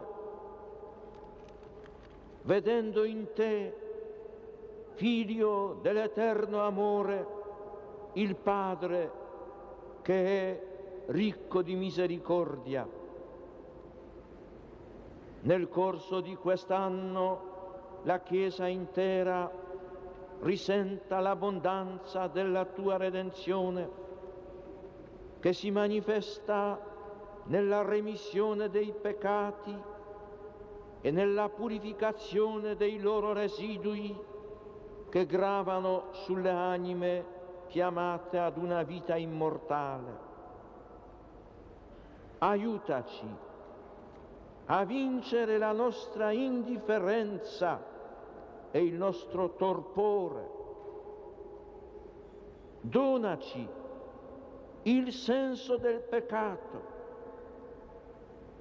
Crea in noi, o oh Signore, un cuore puro e rinnova uno spirito saldo nella nostra coscienza. Fa, o oh Signore, che questo anno santo della tua redenzione diventi pure un appello al mondo contemporaneo che vede la giustizia e la pace sull'orizzonte dei suoi desideri e tuttavia concedendo sempre maggiore spazio al peccato, vive giorno per giorno in mezzo a crescenti tensioni e minacce e sembra avviarsi verso una direzione pericolosa per tutti. Aiutaci tu a cambiare la direzione delle crescenti minacce e sventure nel mondo contemporaneo. Risolleva l'uomo proteggi le nazioni ed i popoli, non permettere l'opera di distruzione che minaccia l'umanità contemporanea.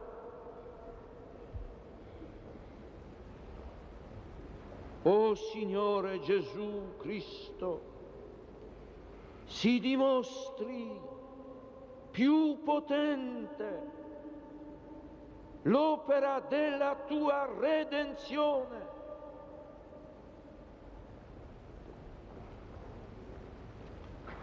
Questo implora da te in questo anno la Chiesa, mediante tua madre, che tu stesso hai dato come madre di tutti gli uomini questo implora da te la Chiesa nel mistero della comunione dei santi.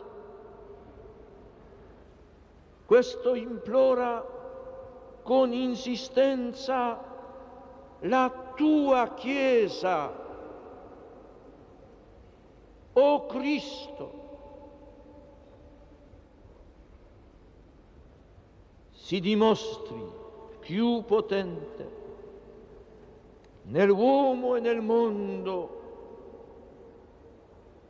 l'opera della tua redenzione.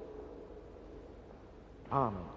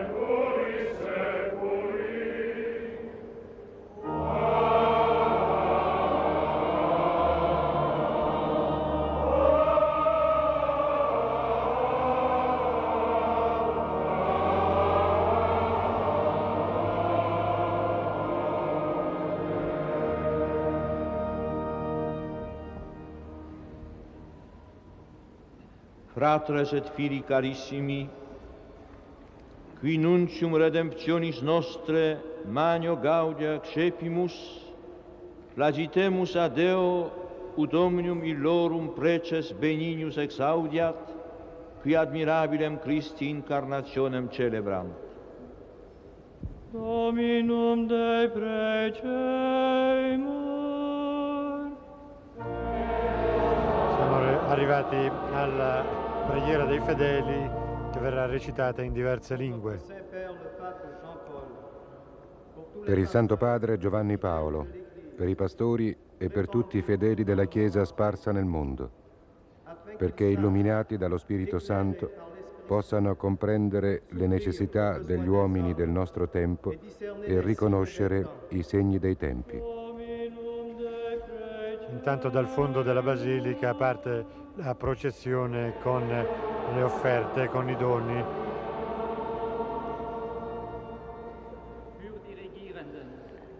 Per i governanti dei popoli, perché sempre meglio comprendano i doveri del loro ufficio e così promuovano la giustizia, la pace, il bene comune e quanto si attendono specialmente gli umili, i poveri, i diseredati.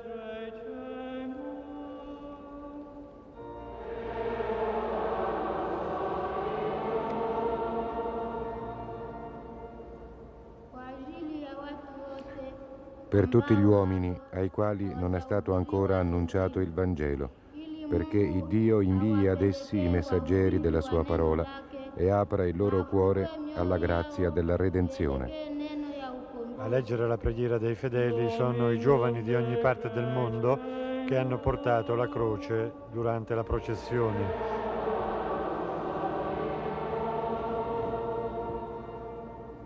Per gli ammalati, gli anziani, gli abbandonati e per coloro che vivono senza speranza, perché possano incontrare dei fratelli che si chinano con benevolenza verso le loro pene, pronti a donare aiuto e conforto. Dominum Dei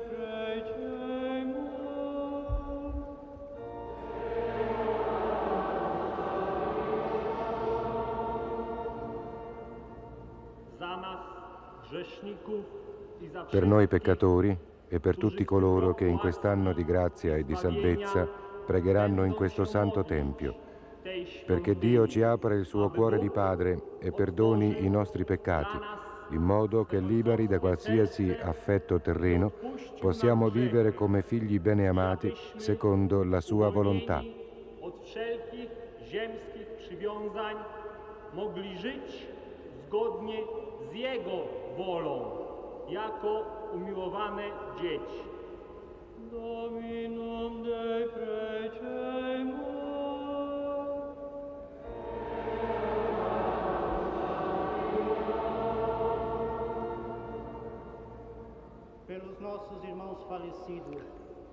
Per i nostri fratelli defunti, perché Dio apra loro le sorgenti inesauribili della sua misericordia e li introduca nel gaudio illuminante della felicità eterna.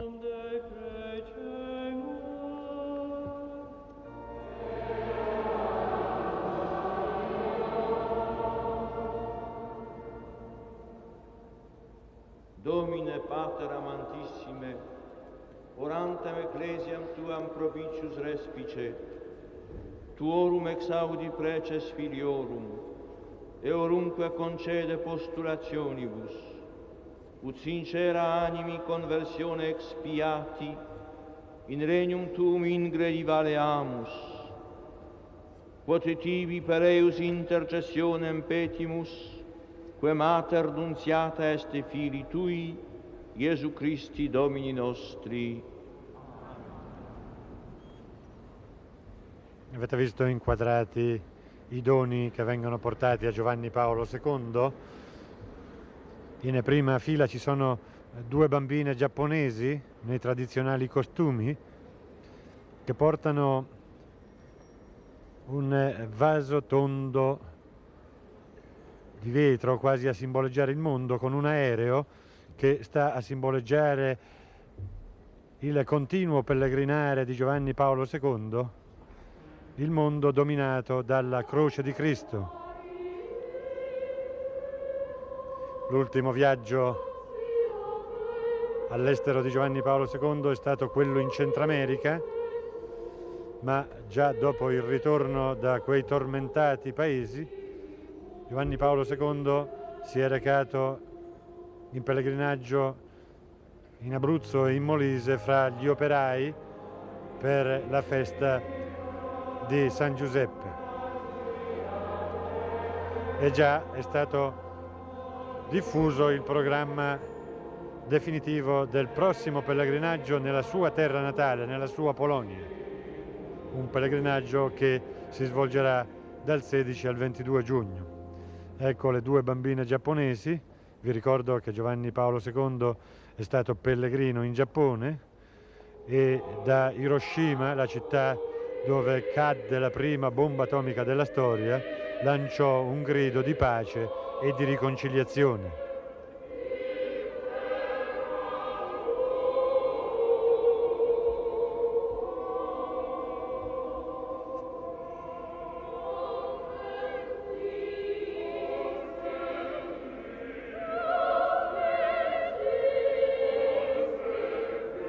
Ora al Papa due suore portano fiori e un cero.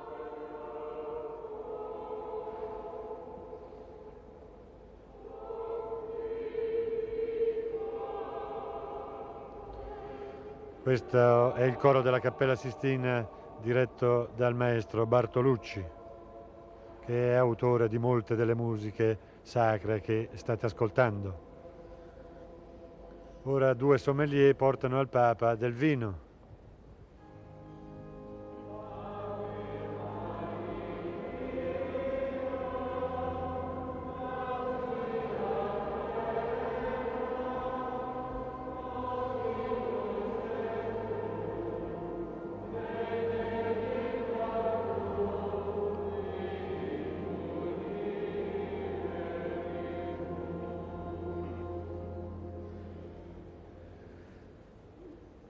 Volta di due suore che portano il calice per la celebrazione dell'Eucaristia.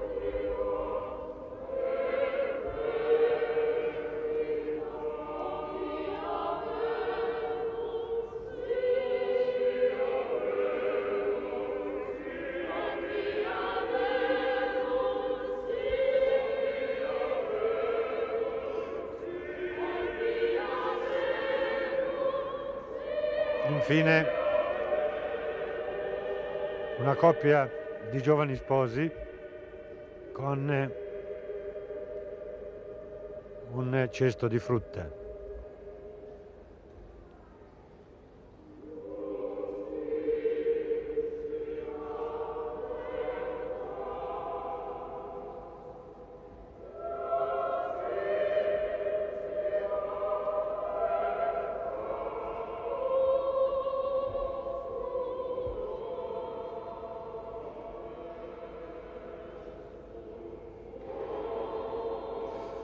Giovanni Paolo II lascia la cattedra e va all'altare della confessione per la liturgia eucaristica.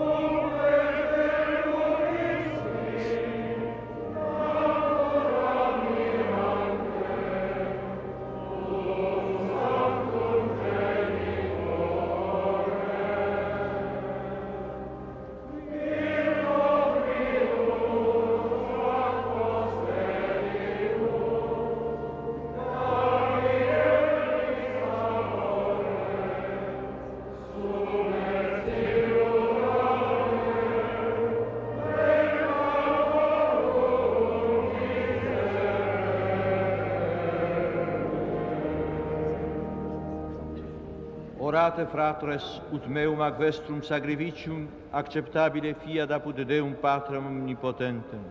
Suscipie, Domine, sacrificium de manibus Deus, et laudem gloria Domini nostrum, ad dedicare la tua crucis per Ecclesie tuem omnipotens Deus, dignare suscipere, utque in unigeniti tui incarnazione primordia sua constare con cognosci, ipsius gaudeat hac solemnitate celebrare mysteria per Christum Dominum nostrum.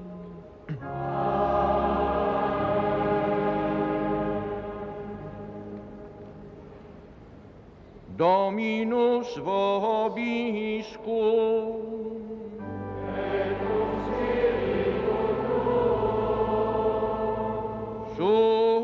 Sursum corda.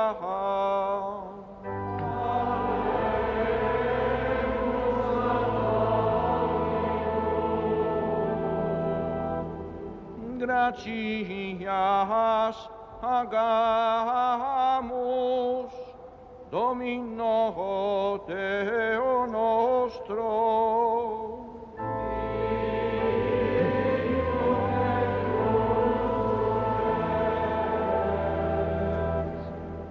vere dignum et justum est, ecum et salutare. Nos timi semper et ubique, gratia sagere. Domine sancte, Pater omnipotens, eterne Deus, per Christum Dominum nostrum. Quem inter homines et propter homines nascitorum,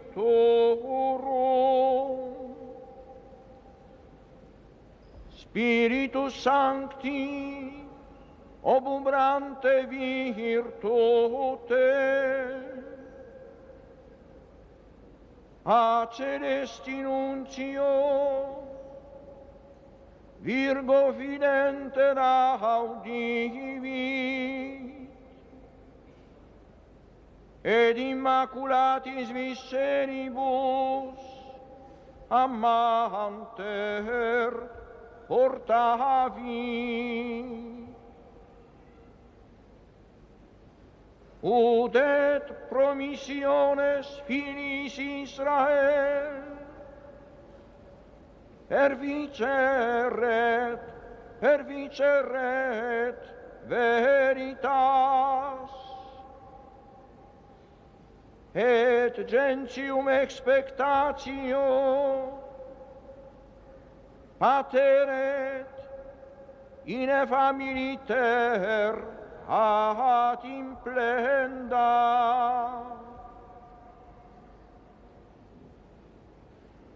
per quem maestatem tuam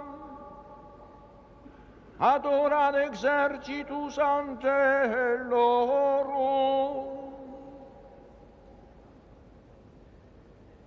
ante conspectum tuum in eternitate letantium. cum quimus et nostras voces ud admitium eas de precamur socia exultatione dicentes.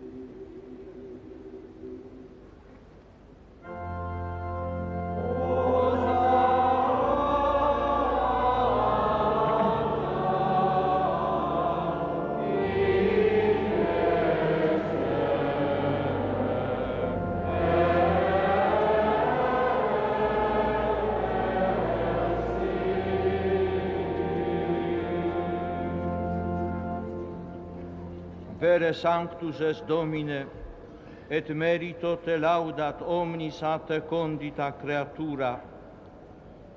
Quia per filium tuum Dominum nostrum Iesum Christum, Spiritus Sancti operante virtute, vivificas et sanctificas universa, et populum tibi congregare non desinis, uda solis hortus quad occasum, oblatio munda offeratur nomini tuo.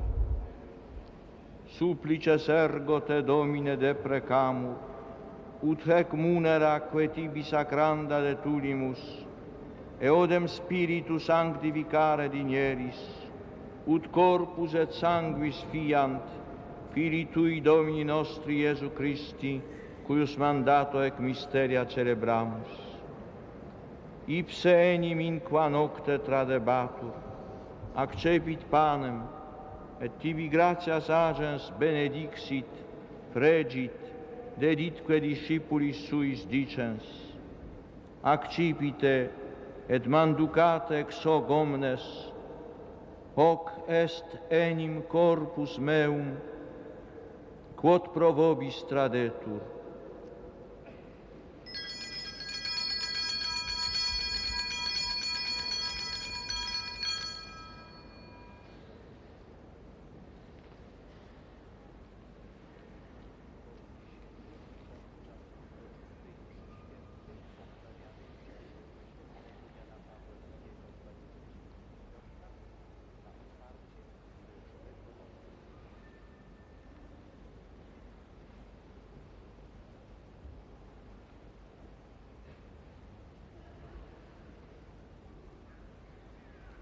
simili modo postquam cenatum est, accipiens calicem, et tibi gratias agens benedixit, deditque discipulis suis dicens, accipite, et bibite ex eo omnes, hic est enim calix sanguinis mei, novi ed eterni testamenti, qui pro vobis et pro multis effundetur in remissionem peccatorum hoc facite in meam commemorationem.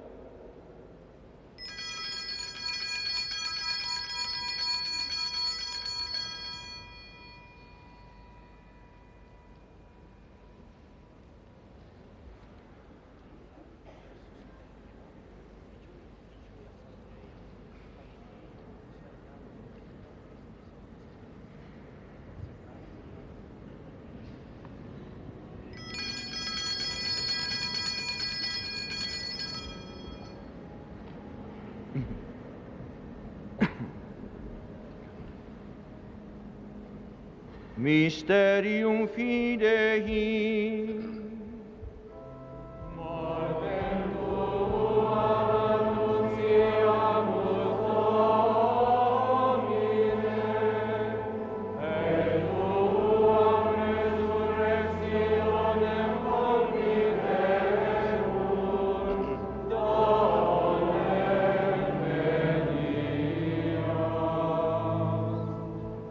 morosigi tur Domine, eiustem fili tui salutifere passionis, nec non mirabilis resurrectionis et ascensionis in celum, sed et prestolantes alterum eius adventum, offerimus tibi gratias referentes, hoc sacrificium vivum et sanctum.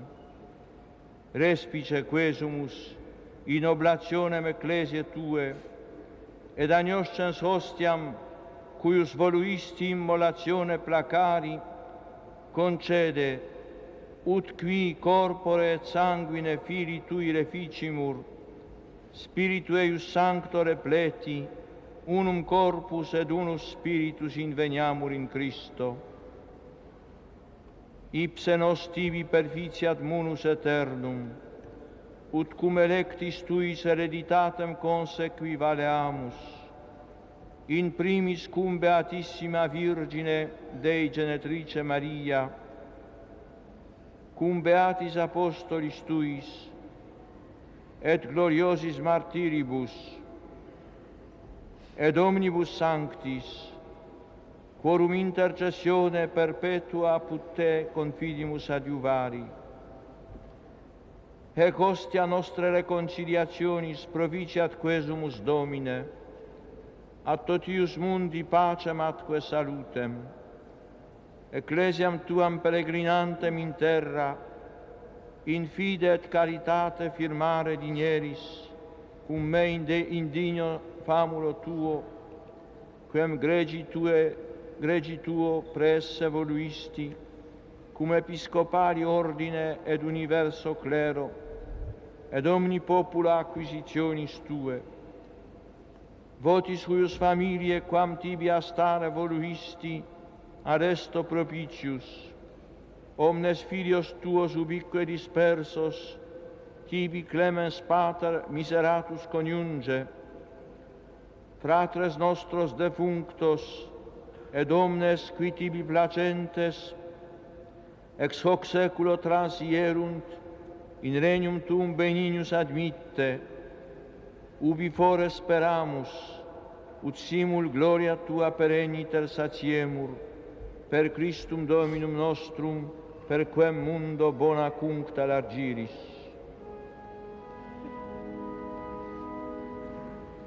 Per ipsum et cum ipso et in ipso estimi Deo Patri Omnipotenti, in unitate Spiritus Sancti, omnis honor et gloria, per omnia saecula saeculorum. Amen.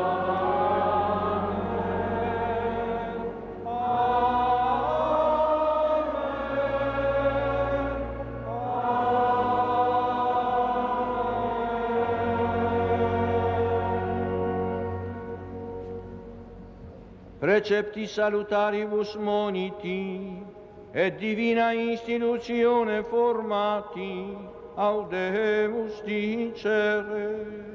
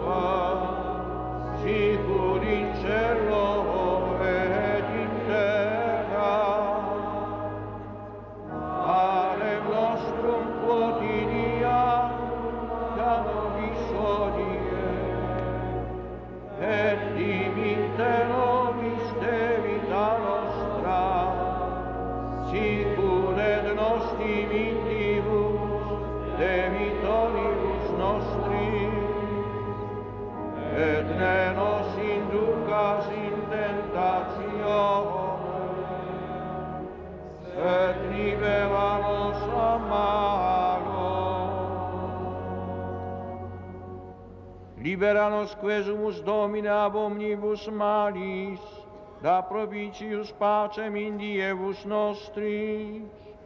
Udope misericordia Tue adiuti, et a peccato simus semper liberi, et ab omni perturbatione securi, expectantes beatam spem, et adventum salvatoris nostri Iesu Christi.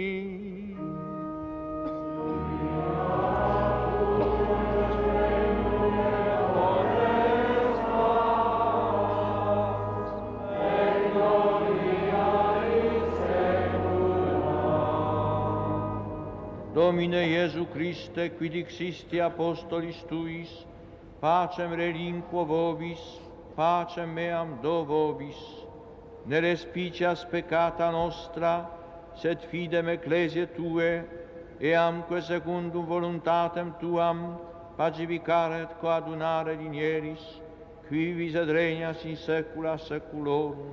Amen. Pax Domini sit semper vobiscum. Et cum spiritu tuo. Operte vobis pacem.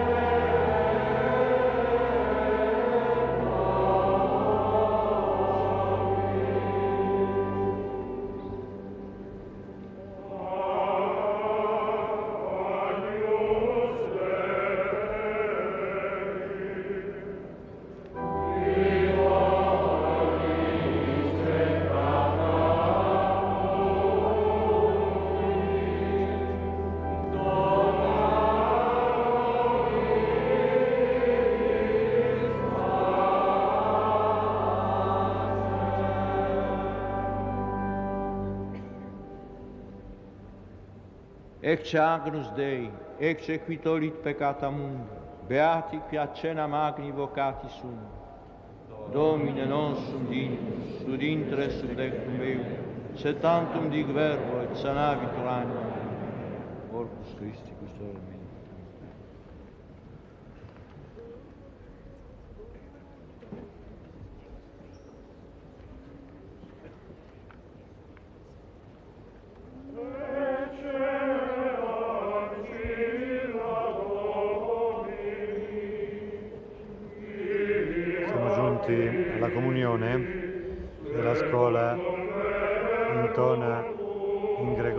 Gregoriano Ecce Ancilla Domini.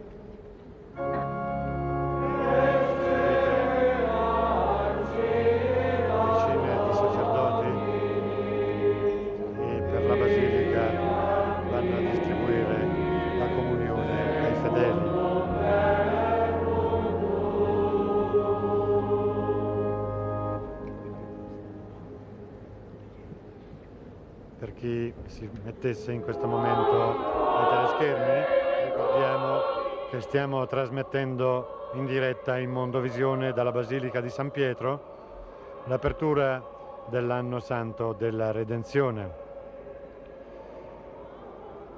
Nella processione d'inizio di questa cerimonia è stata portata nell'abside della Basilica Vaticana una grande croce di legno, simbolo della passione e della morte di Cristo che rimarrà nella Basilica per tutto il Giubileo. In questi ultimi tempi si è parlato moltissimo di una reliquia della redenzione, la Sacra Sindone. Se ne è parlato per vari motivi. Il lenzuolo che porta impressa l'effigie del crocefisso è conservato, come sapete, a Torino. Qualcuno ha avanzato l'ipotesi che fosse esposto durante l'anno santo a Roma. Il giubileo, infatti, come abbiamo più volte avuto occasione di ripetere, è stato indetto dal Papa per il 1950 anniversario della passione, morte e risurrezione di Cristo. Dunque la proposta di esporre la Sacra Sindone a Roma sembrava più che opportuna, ma ci sono stati dei problemi e almeno per ora non se ne è fatto nulla. Una seconda ipotesi potrebbe essere quella di esporre la preziosa reliquia a Torino per la maggior parte dell'anno santo e portarla a Roma per un mese e due nel periodo di maggior afflusso dei pellegrini. Nell'attesa di una decisione vediamo brevemente la Sindone. Se la regia può mandare in onda le immagini. Si tratta da, di immagini tratte dal famoso documentario realizzato da un'equipe di studiosi inglesi e americani, i quali sono giunti ad una conclusione certa. Il lenzuolo conservato a Torino porta i segni di un uomo crocefisso in Terra Santa attorno al 33-35 d.C. Non si tratta dunque di una contraffazione. La reliquia fu donata il 22 marzo 1453 al duca Ludovico di Savoia. Nel 1506 il Papa Giulio II approvò il culto pubblico della reliquia. In quei tempi la sindone era a Chambéry in Francia. A Torino fu portata nel 1578 nella cappella del Guarini fu trasferita nel 1694. Nel 1898 un appassionato di fotografia, secondo Pia, ottenne il permesso di fotografare la Sacra Sindone. Quando Pia andò a sviluppare la lastra, si trovò di fronte ad un fenomeno eccezionale. La luce era al posto dell'ombra e viceversa. Era la prima prova che non si trattava di una contraffazione un contraffattore di reliquie non avrebbe potuto manipolare un negativo prima ancora dell'invenzione della macchina fotografica. Il lavoro eseguito dal fortunato fotoamatore torinese fu a lungo studiato dai medici che riuscirono ad individuare i segni delle frustate sul corpo di Gesù. Una ricerca minuziosa da Certosini che è proseguita per anni e prosegue ancora negli istituti specializzati di tutto il mondo. Secondo esperti americani, i flagellatori di Gesù Cristo erano due e complessivamente lo frustarono 120 volte. Sul sacro lenzuolo sono state anche trovate tracce di ferite alla fronte e al cuoio capelluto, a riprova della veridicità dei Vangeli che ci parlano della famosa corona di spine. Anche gli esperti di storia dell'arte hanno cercato di confrontare l'immagine del volto di Cristo rimasta impressa sulla sindone con pitture di varie epoche. E si è potuta notare un'eccezionale rassomiglianza tra il volto che si vede sul sudario conservato a Torino e le prime raffigurazioni iconografiche. Ma forse l'esperimento più importante è quello che è stato compiuto con l'ausilio di attrezzature elettroniche d'avanguardia dell'ente spaziale americano nei laboratori di Colorado Spring e di Pasadena. La foto della Sindone, scattata nel 1898 da Secondo Pia, è stata esaminata col sistema tridimensionale. Se nelle sofisticate apparecchiature si inserisce una qualsiasi fotografia, questa diventa pressoché irriconoscibile. Vedete invece che il volto di Cristo è chiarissimo ed anche la foto del corpo con i segni della passione è nitidissima. Gli studiosi hanno potuto constatare ancora una volta che Gesù fu percosso a sangue prima di essere avviato al Calvario. Questa ricerca dell'ente spaziale americano ha anche confermato il racconto di San Giovanni secondo il quale sotto il mento di Gesù Gol sul Golgota fu legato un fazzoletto bianco. L'immagine tridimensionale vi ha mostrato chiaramente il segno di quel fazzoletto. Insomma, gli strumenti che l'uomo ha usato per conquistare lo spazio, per violare il suolo lunare e per ottenere fotografie di corpi celesti anche molto più lontani, dicono che la Sindone di Torino è veramente un lenzuolo nel quale ai tempi della morte di Cristo è stato avvolto un uomo crocifisso. L'autenticità della reliquia è confermata anche da una ricerca sui pollini trovati su di essa. Esperti britannici dicono che quei pollini potevano trovarsi in Terra Santa soltanto in quei tempi lontani. Tutto dunque è a favore della Sindone. Per secoli si è discusso su questa reliquia. Ora c'è la quasi matematica certezza scientifica che è autentica. Infatti proprio gli esperti americani dicono che qualcosa di soprannaturale è avvenuto nel momento in cui sul lenzuolo si è fissata l'immagine dell'uomo crocifisso. La scienza, si sa, è molto prudente nelle sue conclusioni e molta prudenza è stata usata in passato anche dalla Chiesa che pur ammettendo che la Sindone fosse venerata dai fedeli non ha mai ufficialmente pronunciato un verdetto definitivo. Gli sbalorditivi progressi della scienza e della moderna tecnologia hanno invece sciolto ogni dubbio. Sembra quasi che, nonostante le varie disavventure, il sudario sia miracolosamente rimasto a disposizione di questa tecnologia per ottenere un avallo autorevole.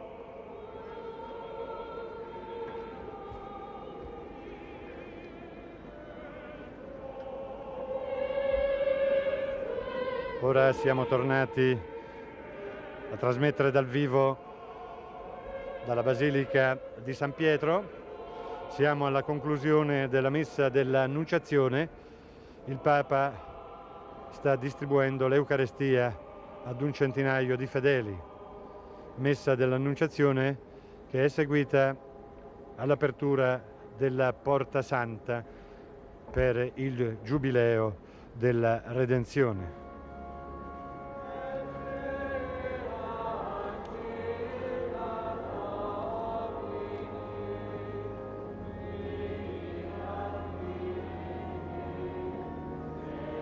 Come avete potuto ascoltare, il Papa nell'omelia ha pronunciato una fervente preghiera a Cristo perché tutti si convertano all'amore e ha chiesto al Signore la protezione sul mondo contemporaneo che vede la giustizia e la pace sull'orizzonte dei suoi desideri e tuttavia, concedendo sempre maggiore spazio al peccato, vive giorno per giorno in mezzo a crescenti tensioni e minacce.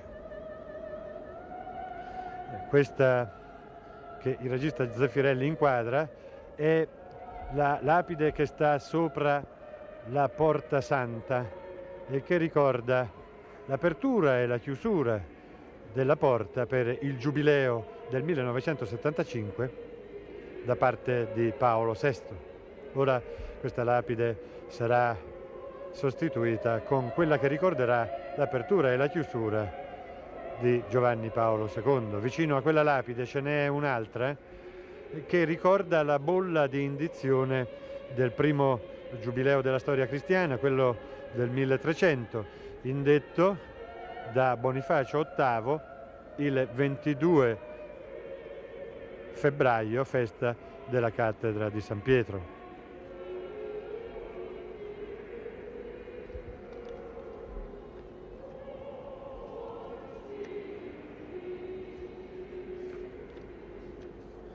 La notizia dell'indizione del Giubileo si sparse nel 1299 fra i pellegrini.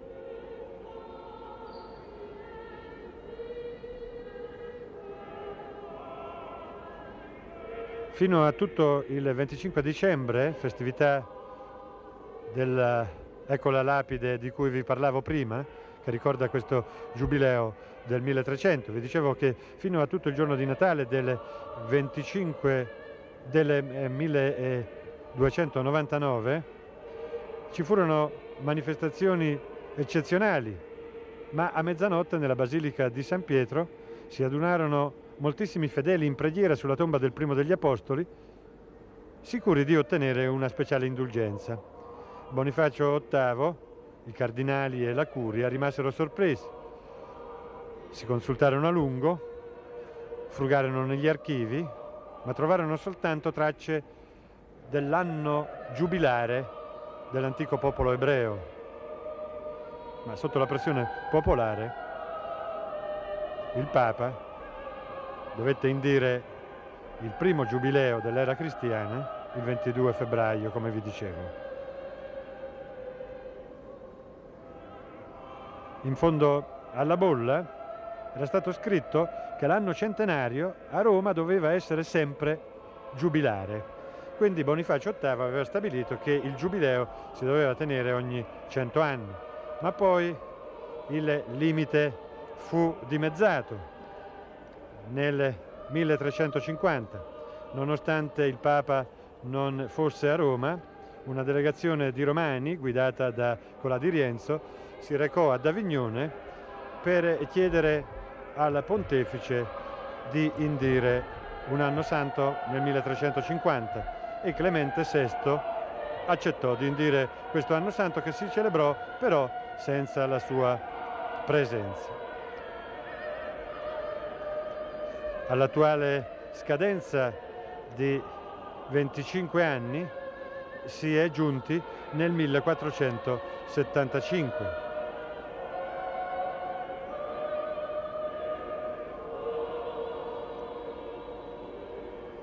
ma come sappiamo ci sono stati anche anni santi straordinari come questo che è stato aperto oggi.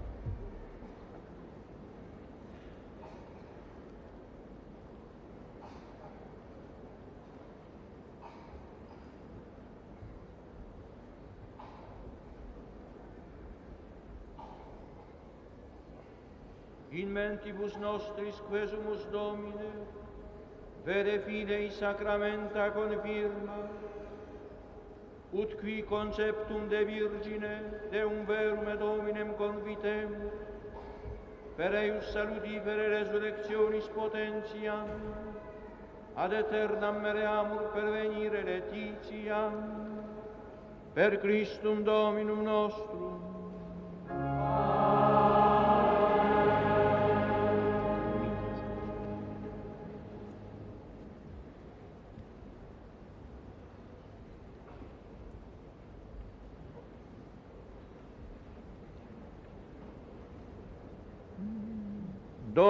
scevoviscum. vobiscum.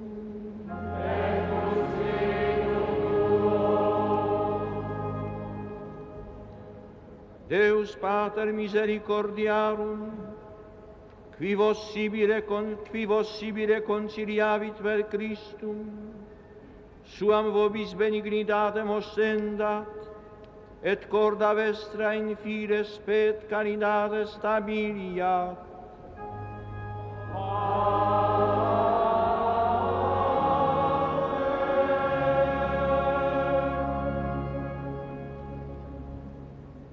Christus, quem sequimini confidenter, corda vestra ad omnem Galidatem aperiat, ut hoc tempore salutis, gratiam Dei recipiatis, et faciat vos lucem esse fratribus vestris,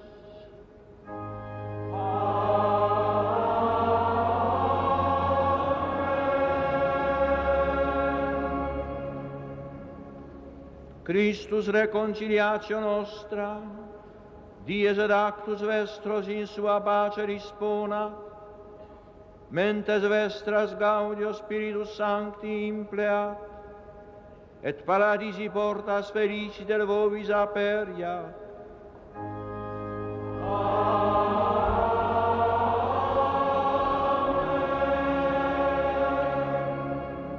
et benedictio Dei omnipotentis, Patris, et Filii, et Spiritus Sancti, descendat super vos et maneat semper. Amen.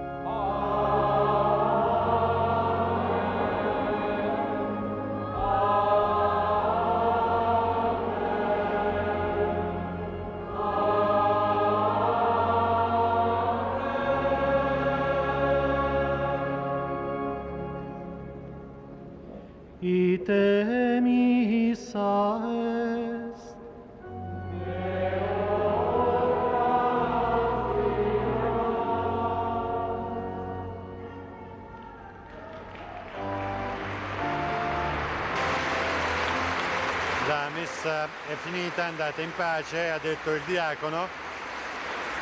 E poi il grande applauso della folla riunita qui in San Pietro per la cerimonia di apertura dell'anno santo della Redenzione.